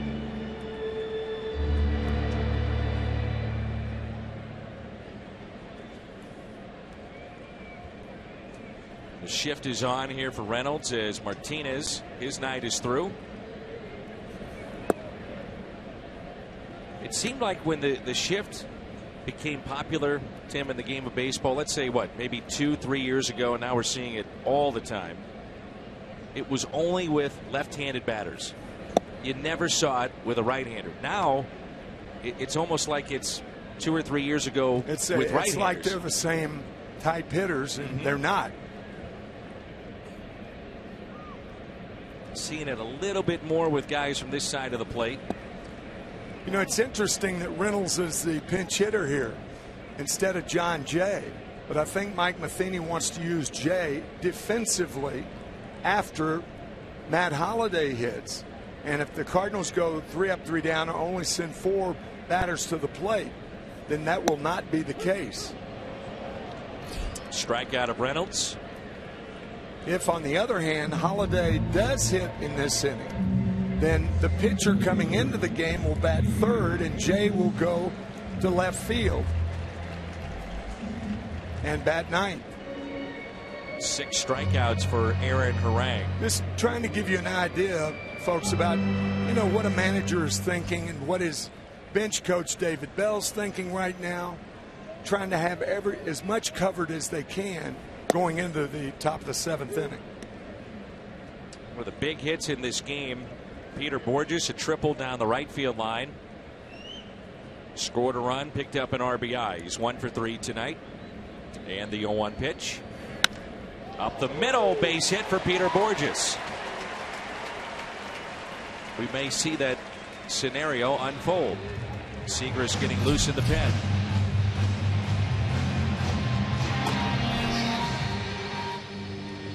In the driver's seat. Matt Carpenter mentioned it earlier. Matt Carpenter has 30 hits.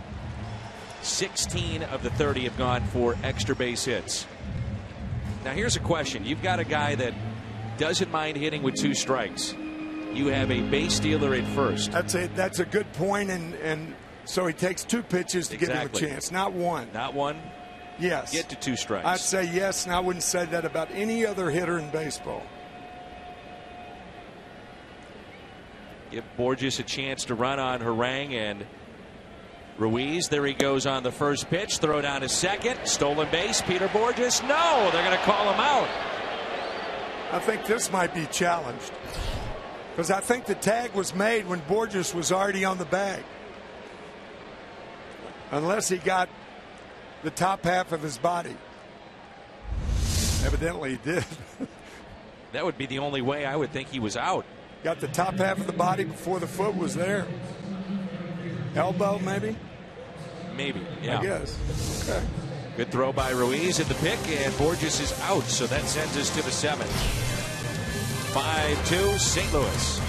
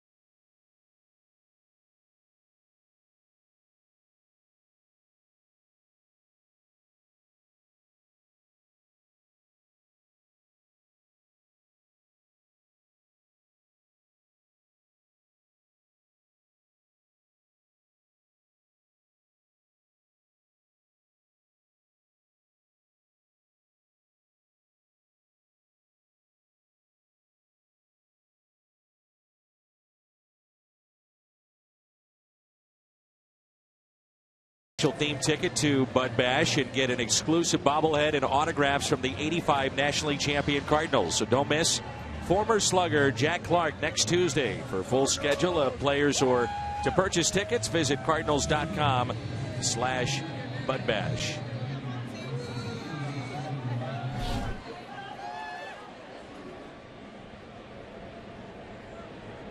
Chevy called to the pen. Left-hander Kevin Siegrist.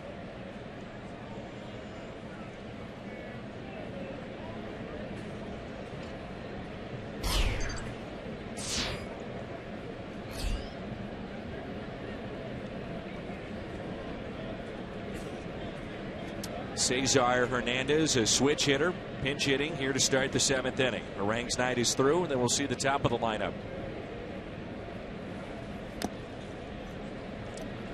Tim, it's it's worth repeating, and, and we've talked about what the Cardinals pitching has done this year. It's a historic start in franchise history. 20th game of the season is tonight. They have allowed a total now of 52 runs. That's 2.6 runs per game, the fewest they have allowed through 20 games in the history of Cardinals baseball, which dates back to 1892. Wow. Here's the 0 2. You think about that. Hmm. Best start ever. That's a lot of games, too, to use as a sample. One eighth of the season. Your team in 68 had given up 57 at this point. That pitch is popped up near the line. Wong is called off by Heyward. Much easier play for him coming in. One away.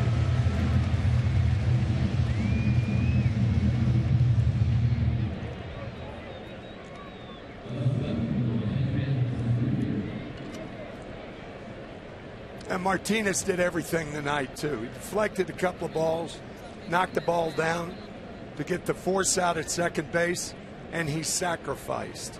George Carlin would have been proud of it. In baseball, they sacrifice. In football, it's sudden death. right. I saw him in Vegas a couple of times. Oh, my it was gosh. the best. Brilliant. But I mean, you know, was a key sacrifice. Yes. It came in in an inning in which they batted around. Fifth inning, in that inning, they put up a four spot. There's a good breaking ball from Siegrist. That's a, a much improved pitch this year, that breaking ball. Mike Matheny was telling us he thinks mechanically Siegrist is said maybe just a fraction of an inch off if you were going to put it in those terms? Just just a slight bit off but really likes the way that he's throwing the baseball. And the off does not mean velocity.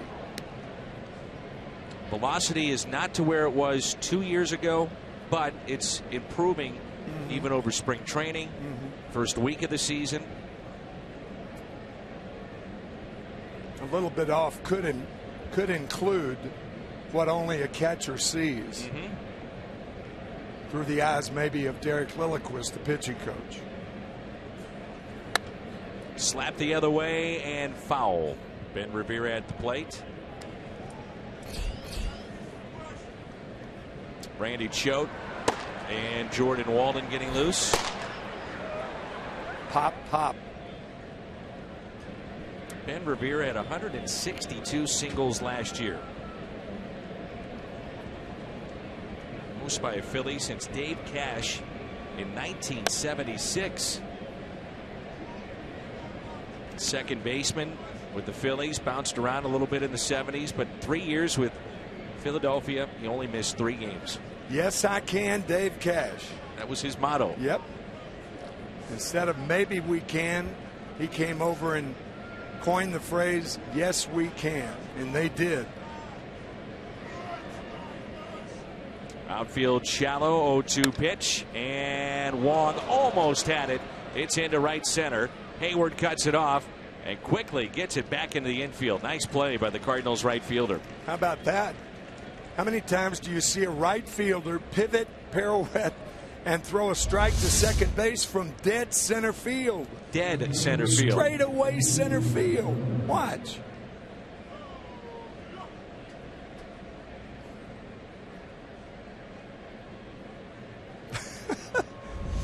Never seen that. No. You see a center fielder cut in front of the left fielder or right fielder, but not the other way that often. Here's Herrera, who is two for three. Infield hit and an RBI base hit to right last time up. That was in the fifth.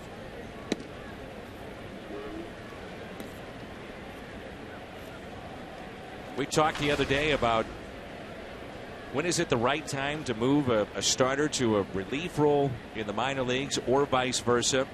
Kevin Siegrist, good example of that. Cardinals did two things that helped propel him to the big leagues. One was moving him to a relief role and then moving him to the third base side of the rubber. That really changed things. In on right handed hitters. Two years ago, Tim, it didn't matter lefty, righty. He was getting everybody out.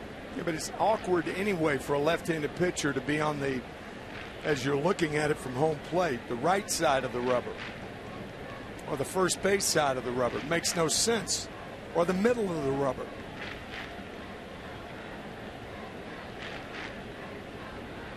The leverage comes from the from the third base side of the rubber for a left-handed pitcher.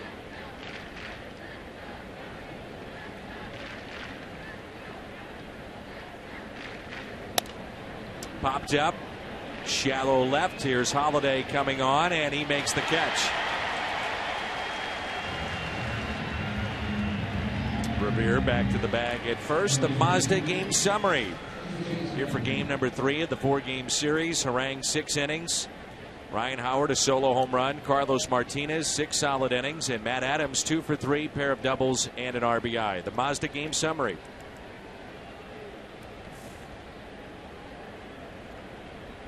It's Chase Utley.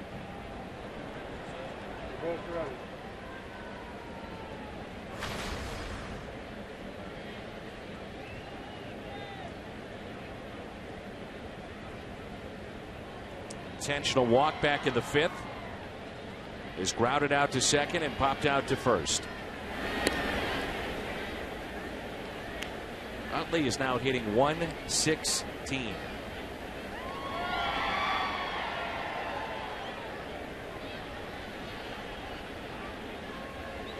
We saw him last night go to left field, which he does not do very often. Line drive that picked up an RBI. They'd love to see him go more that direction. Talking with some of the Phillies personnel, they feel at times he can pull off a lot of pitches.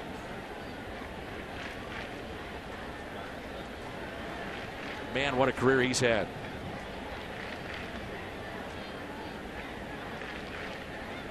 see the Cardinals play way off the line at third.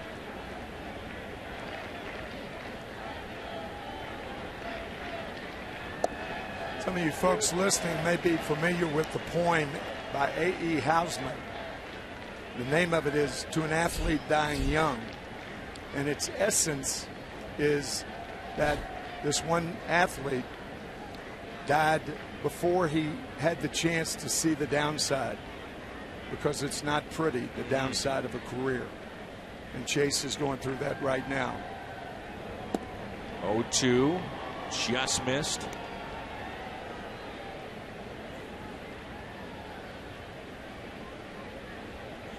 However, an addendum to the poem is my bank account is going up. I think he's making 17 million this year. I don't think AE put that in there.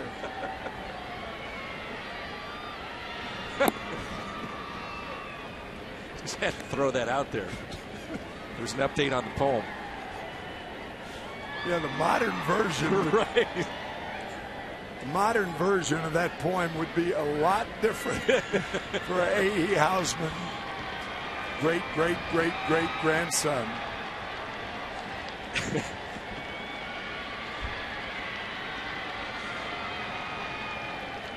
The 2 2. Now 3 and 2, and Revere is off with the next pitch. And Matt Adams moves behind the runner at first base. Play it like there's nobody on.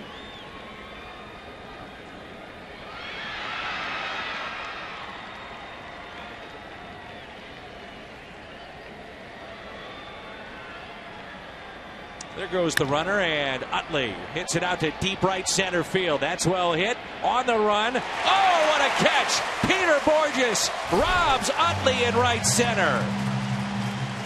How about that play? For the first time in a long time, Peter Bourjos has been the star of this game. Wow. I didn't think he had any chance to get to that ball. Time to stretch.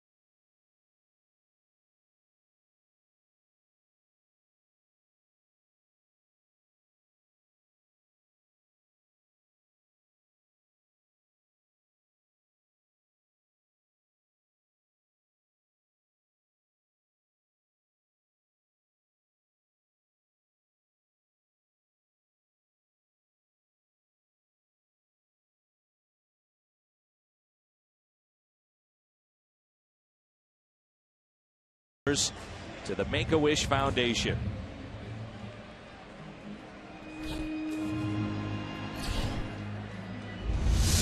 What a play here by Peter Bourjos.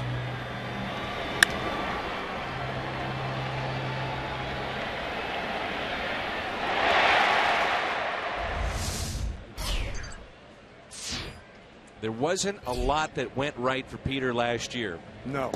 And I think you're right on in the fact that McGowan is the new pitcher, that this has been an all around game to see what kind of player at times he has been with the Angels and the kind of player the Cardinals were hoping to get. Yes. His speed has been a big factor tonight. You think about the triple, the ground ball to first with him at third, He's probably the only guy that scores on that play. Maybe Wong. Maybe Wong. Maybe. But I think Peter had that great jump at third base. And a great jump on the play moments ago. Oh. One and one the count on Matt Carpenter. saw McGowan last night. Our Chevy Call to the pen. His eighth appearance this year. We had a function uh, here at the stadium before the game with uh, some our friends from the radio side, uh, AM, FM, FM throughout Cardinal Nation, seven states, I guess. And Mike Matheny was up there and he said, um, uh, Well, I got credit because I changed the lineup last night. He said, and I'll probably get credit tonight for putting Bourjos in there, unless he goes 0 for 4, and then I'll be an idiot. Right. That's My life great as a big league manager. Yeah, that- yeah, that's exactly right. And everybody, you know, he got a laugh, and it was funny, but it's oh so true. We love you, winter tie. Great tough Jack job. Buck. He told that to Tony La Russa. They'll love you, Tony. Winter tie. winter tie.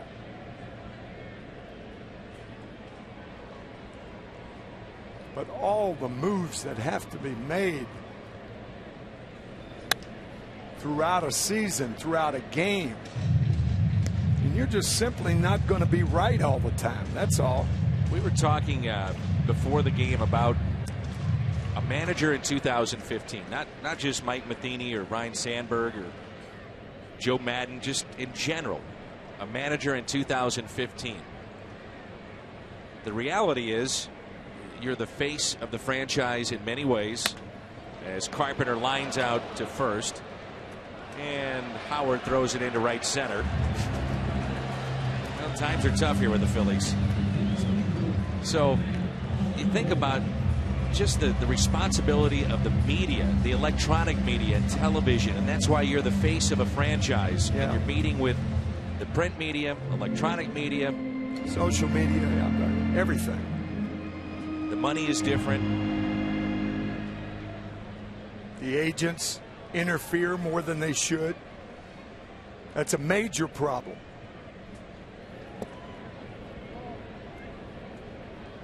I always see it uh, when we go to L.A., but interesting that Scott Boras front row tickets right behind home plate at Dodger yes, Stadium. yes, sir, baby. So not allowed on the field. However, during BP, players associated with him come on over and visit. Even even though I've seen Scott Boras on the field during batting practice at Wrigley Field last year. With Kris Bryant, So, maybe? Yeah, yeah. Well, not with Kris because I, I didn't do a game with you when Kris was up last year. So it was two years This ago was- then. It was two years ago. When he was Yeah, drafted, yeah. Two years ago. Yeah, it was two years ago. Mm-hmm.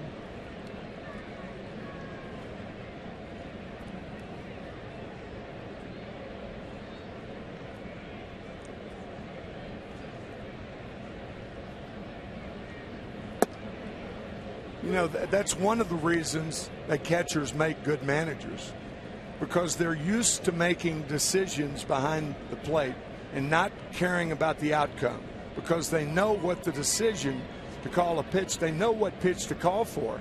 It just may not be thrown right.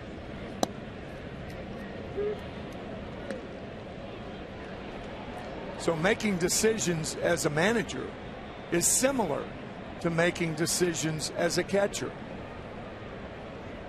Who knows? We've said it several times. Who knows what the right pitch to call for? I mean, you're going with odds. That's all. Tonight, Fox Sports Live will get you caught up on a full day of baseball highlights from across the league, including a career first for A Rod. Plus, amidst the unrest in Baltimore, we have a scene from Camden Yards you have to see to believe. That's all right here after the game on Fox Sports Live. Did you see any of that game today by any I, I chance? didn't, Dan. It's almost like it's uh, it's almost eerie to think about it or to talk about it. And I know our job is to talk about things like that, but what a eerie feeling. Now, there was a bright spot in that game. Oh, I'm sure. Gary Thorne doing the play by play Yes. in the seventh inning. Adam- Funny guy, Oh, he's guy, hilarious. good buddy. I love him. Yeah, Knew him I when he was too. doing hockey, and Oh yeah.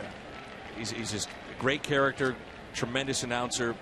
If you get a chance, look for those of you that can get it on MLB.com, and there's a fly ball into center that carries to Herrera. Gary Thorne did Adam Jones at bat as if he was doing the Masters. So the whole place is quiet. And Jim Palmer's working with him. and, he, and he put it off the wall. And he Ga- did it. So Gary Thorne became Jim Nantz. Right. And he says something to the effect of, and Adam Jones will wind up at second base, and he has a chance at the green jacket as we head to 14. and it was an absolute rocket to center. Oh, that's It's hilarious. Oh, that's great. No one in the ballpark, no atmosphere. And by the way, the game took barely over two hours. It's like 206, 204, something like that. Some 203, writer, we're told. Some writer will write a, a column tomorrow saying that crowds at ballparks are responsible for longer games. and this is proof of it. They still had the walk-up music too, by the way. Oh, And I did see a couple of the players actually go over to, well, basically where the tarp is here at the ballpark, and that's where they sign a lot of autographs. A couple of guys were faking signing autographs and handing out fake balls, signing it. a little levity. Let me tell you something. That's what our country needs is a little levity.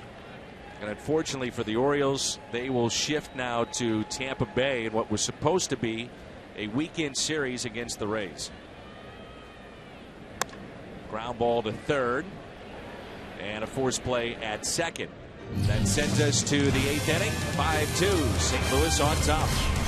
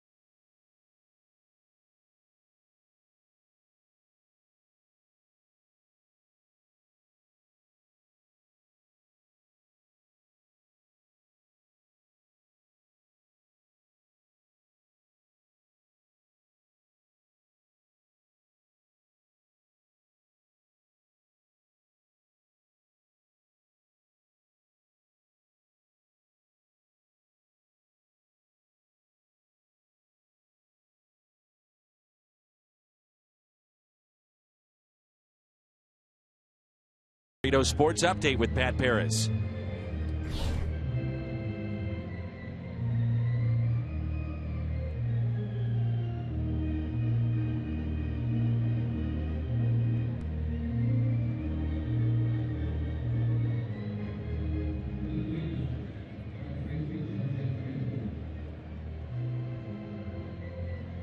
How about that? That's Colby Rasmus' fifth RBI in three games. Two home runs, five RBIs. So now 14 and 7. Wow. Houston. Chevy called to the pen. Here's Jordan Walden.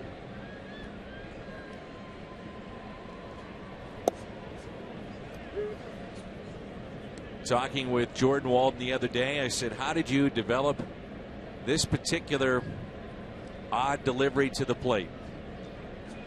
His answer, I have no idea. He said, Just one day, I'm playing catch. I started doing this, and it has stuck ever since. He also told me there was a team last year because I said, do you, do you ever get issues about the back leg not being on the rubber as he delivers towards the plate? He said in his career, one team actually did call the commissioner's office. To, I, can, I would I believe that. yeah, and he said they reviewed the tape and deemed him legal because he starts on the rubber and then it comes off as he delivers the pitch.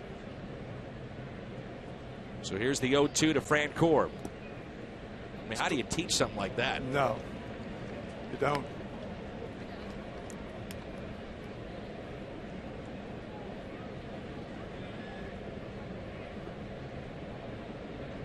Jordan off to a great start. Here's a 1 2. Francoeur with a fly ball into right. There's Heyward, the former Brave. Retires a former Brave in Francoeur. Celebrate Cinco de Mayo with Los Cardenales de San Luis with the purchase of a special Cinco de Mayo themed ticket. Fans will receive an exclusive Cardinals chip and dip tray. So grab your sombrero, head to Busch Stadium. That's May 5th, Cinco de Mayo.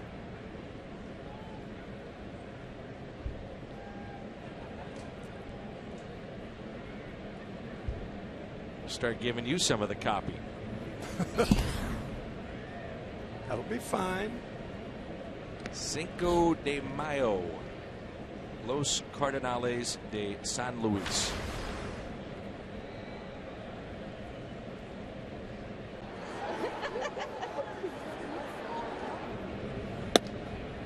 Fastball and a strike. One and one. Howard is homer tonight.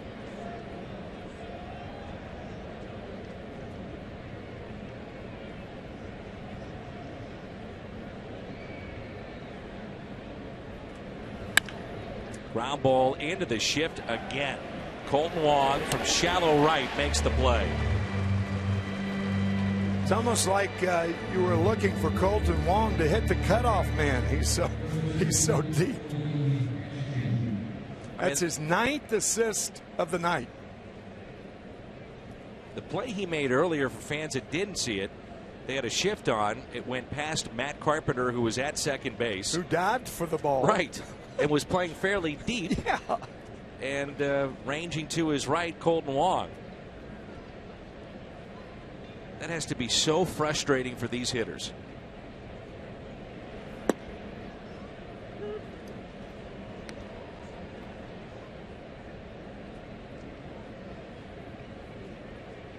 Again, you've done it all your life. You've hit the ball hard that side, you're going to get a base hit. Right.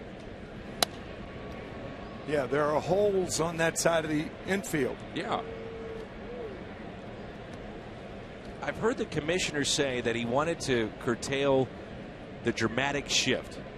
And a lot of people. How's he going to do that, though? How, how, can you tell? Exactly. Where, uh, where are you going to say to stop? Did, yeah, a man who did, uh, who's a coach and has all the, the numbers to back it up.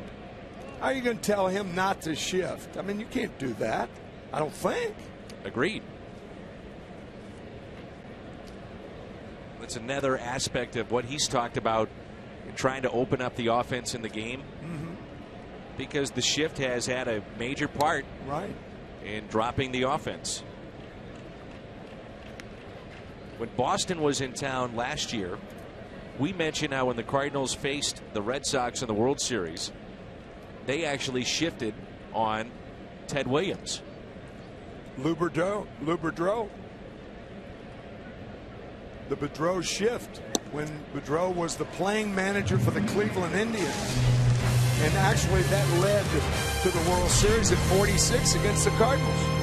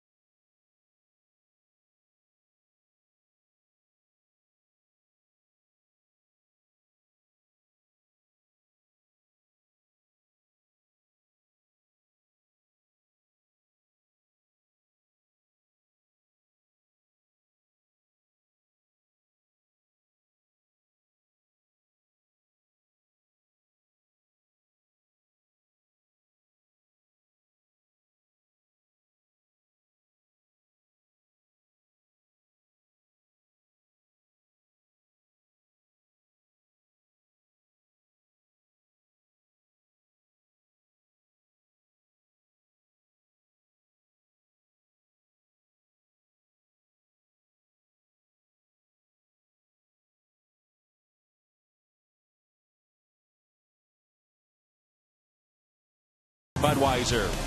Still brewed the hard way. This Bud's for you.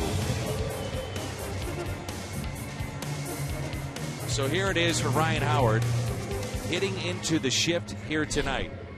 One way to beat it, put one over the wall, which he did do. But this is the play we were talking about. What a play by Wong with the backhand.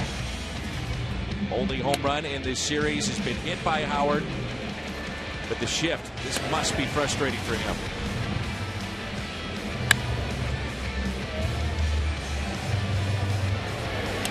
Could be four for four. He's one for four. You could see when he tried to beat that play, by the way, he was limping on the other side of first base. A remnant of the Achilles tear back in 2011. Ryan telling me when he had the Achilles tear that the surgery can be performed uh, performed on the side of the ankle Hmm. towards the back or directly on the back and that's where he had his Mm-hmm. And he had to have a follow-up surgery because of infection and they find that if you have it on the back of the heel if you will Mm-hmm. and Eduardo Perez is here at the ballpark working for ESPN and he had it as well he was told that if you have it on the back of the heel there's more room for infection as opposed to going on the side. Now, I'm not a doctor and I haven't torn my Achilles, but there's some more information to think about potentially. As Heyward bounces it to second, there's Utley. Jeanmar Gomez is our Chevy call to the pen. And join us tomorrow for the official St. Louis Rams Bud Light Draft Day Party at Fox Sports Midwest Live at Ballpark Village. Great giveaways, specials, and appearances by players, cheerleaders, and Rampage. Rams Draft Day Party tomorrow 5:30 following Cardinals baseball. I have not talked to John Mabry uh, about Jason Heyward, but I hope to do that tomorrow. And I wonder if John's thinking if he can eliminate the four to three from Jason Heyward, then he would, would do a lot toward creating a different hitter. I think that's what Jason's fighting right now is that four to three out. So- Second base to, to first base. And here's Yadier Molina. reason for that, you're pulling that front shoulder a little bit. There's another 4 3, but that's it's a totally different thing for a right handed hitter.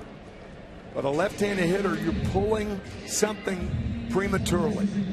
Just, you know, it could be infinitesimal. But if he can eliminate that, he'd be a lot better hitter. Look like the pros. We have a Matt Carpenter batting practice jersey coming up this Saturday. Cards and Pirates, the batting practice jersey. Get here early. Cardinals.com slash promotions. Here's Kolten Wong. I think it kind of it furthers your point, Tim, that you've made with left-handed hitters going the other way. Is Wong? It's a high fly ball. That'll stay in the ballpark. So you either go with the pitch, and if not, you roll over on it. That's right. Keeping that front shoulder in prevents that.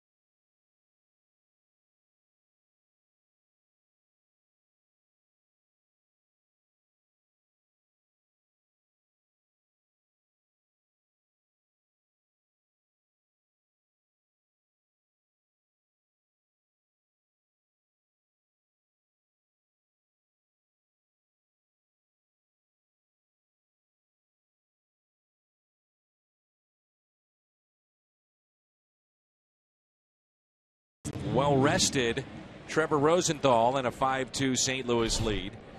He's 7 of 7 in save opportunities. He has not pitched since Friday at Milwaukee in just 11 pitches in that appearance.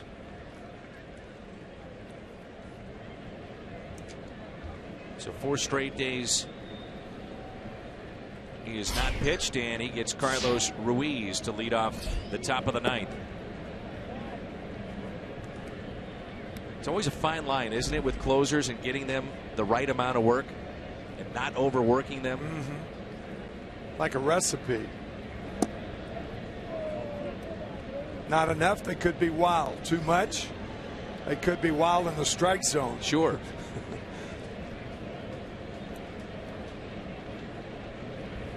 There's a strike, two and one.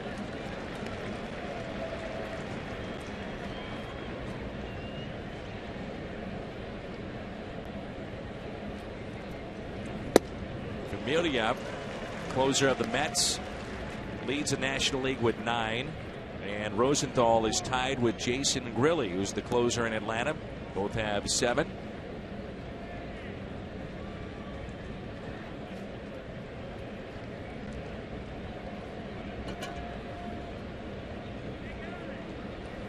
Fastball, goodbye. Strikeout of Ruiz. Two straight balls, three straight strikes.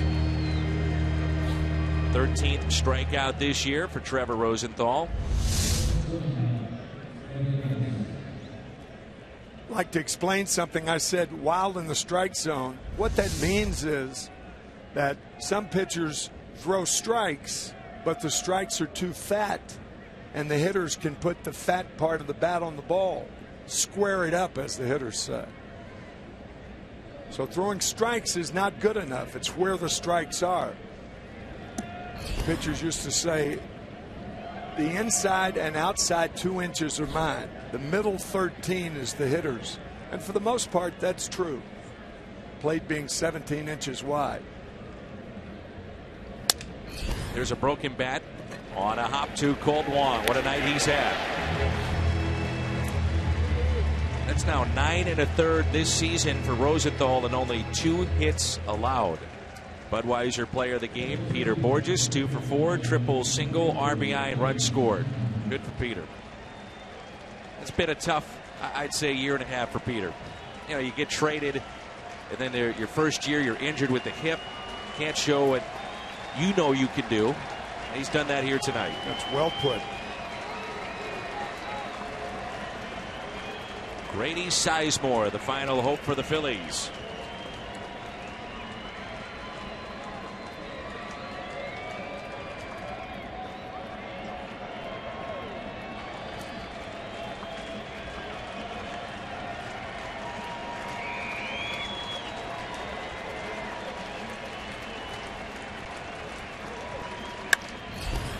Wong. That would have been the way to end it. Base hit into center for Grady Sizemore.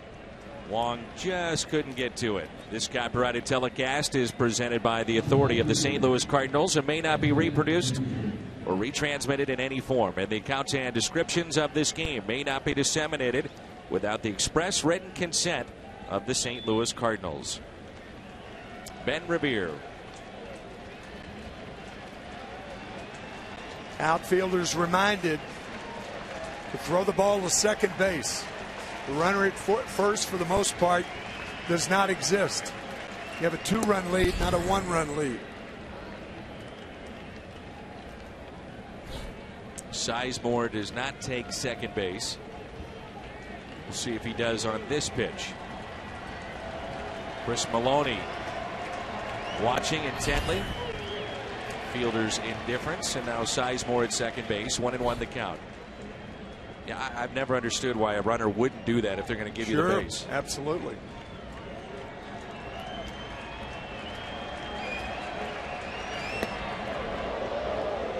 Normally, the outfield would be in a no doubles defense, but Revere has no power.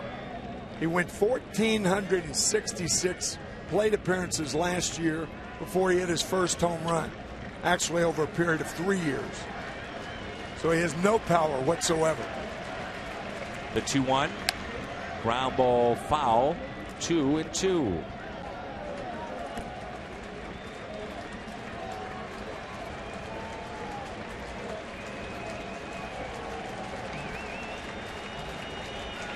Bottom of the eighth, Pittsburgh leading Chicago by the score of six to one. Start of play tonight. The Cardinals one game in front of the Cubs.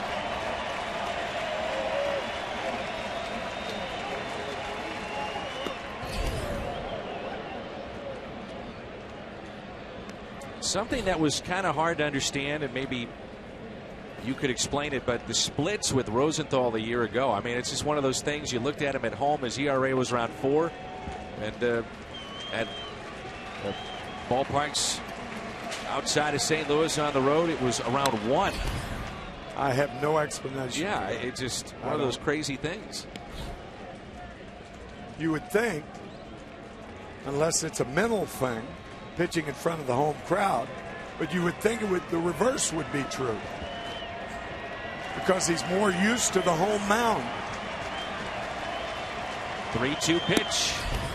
And he walked him. So now that brings up the, uh, the tying run.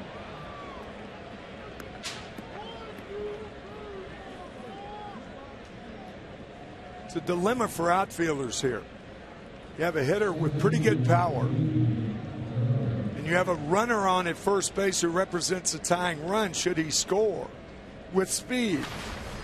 It's a tough outfield positioning right now. When in doubt, play them normally. And that's what the Cardinal outfield is doing. First and second. Two down. Herrera looks at strike one.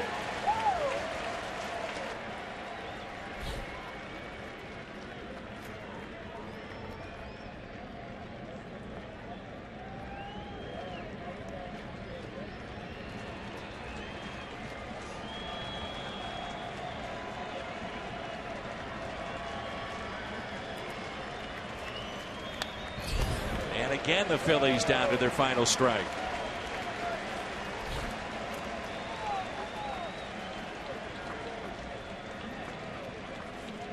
Three to five days rest in his career. Rosenthal ERA of 2.43. Makes sense. No days rest, so back to back. His ERA is close to four.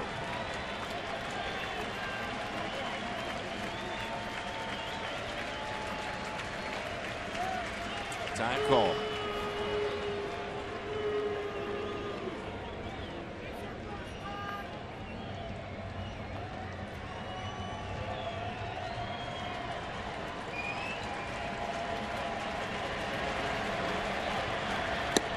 Got him on the outside corner. Called third strike. 97 on the black. And the Cardinals win game three of this series by the final of 5 to 2.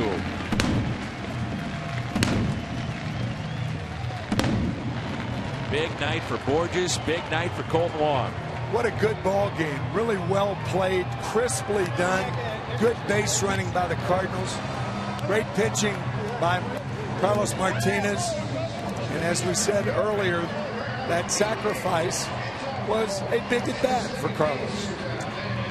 Carlos now 3 0. Peter Bourjos, the speed on display tonight. A big triple in the fifth to ignite the offense.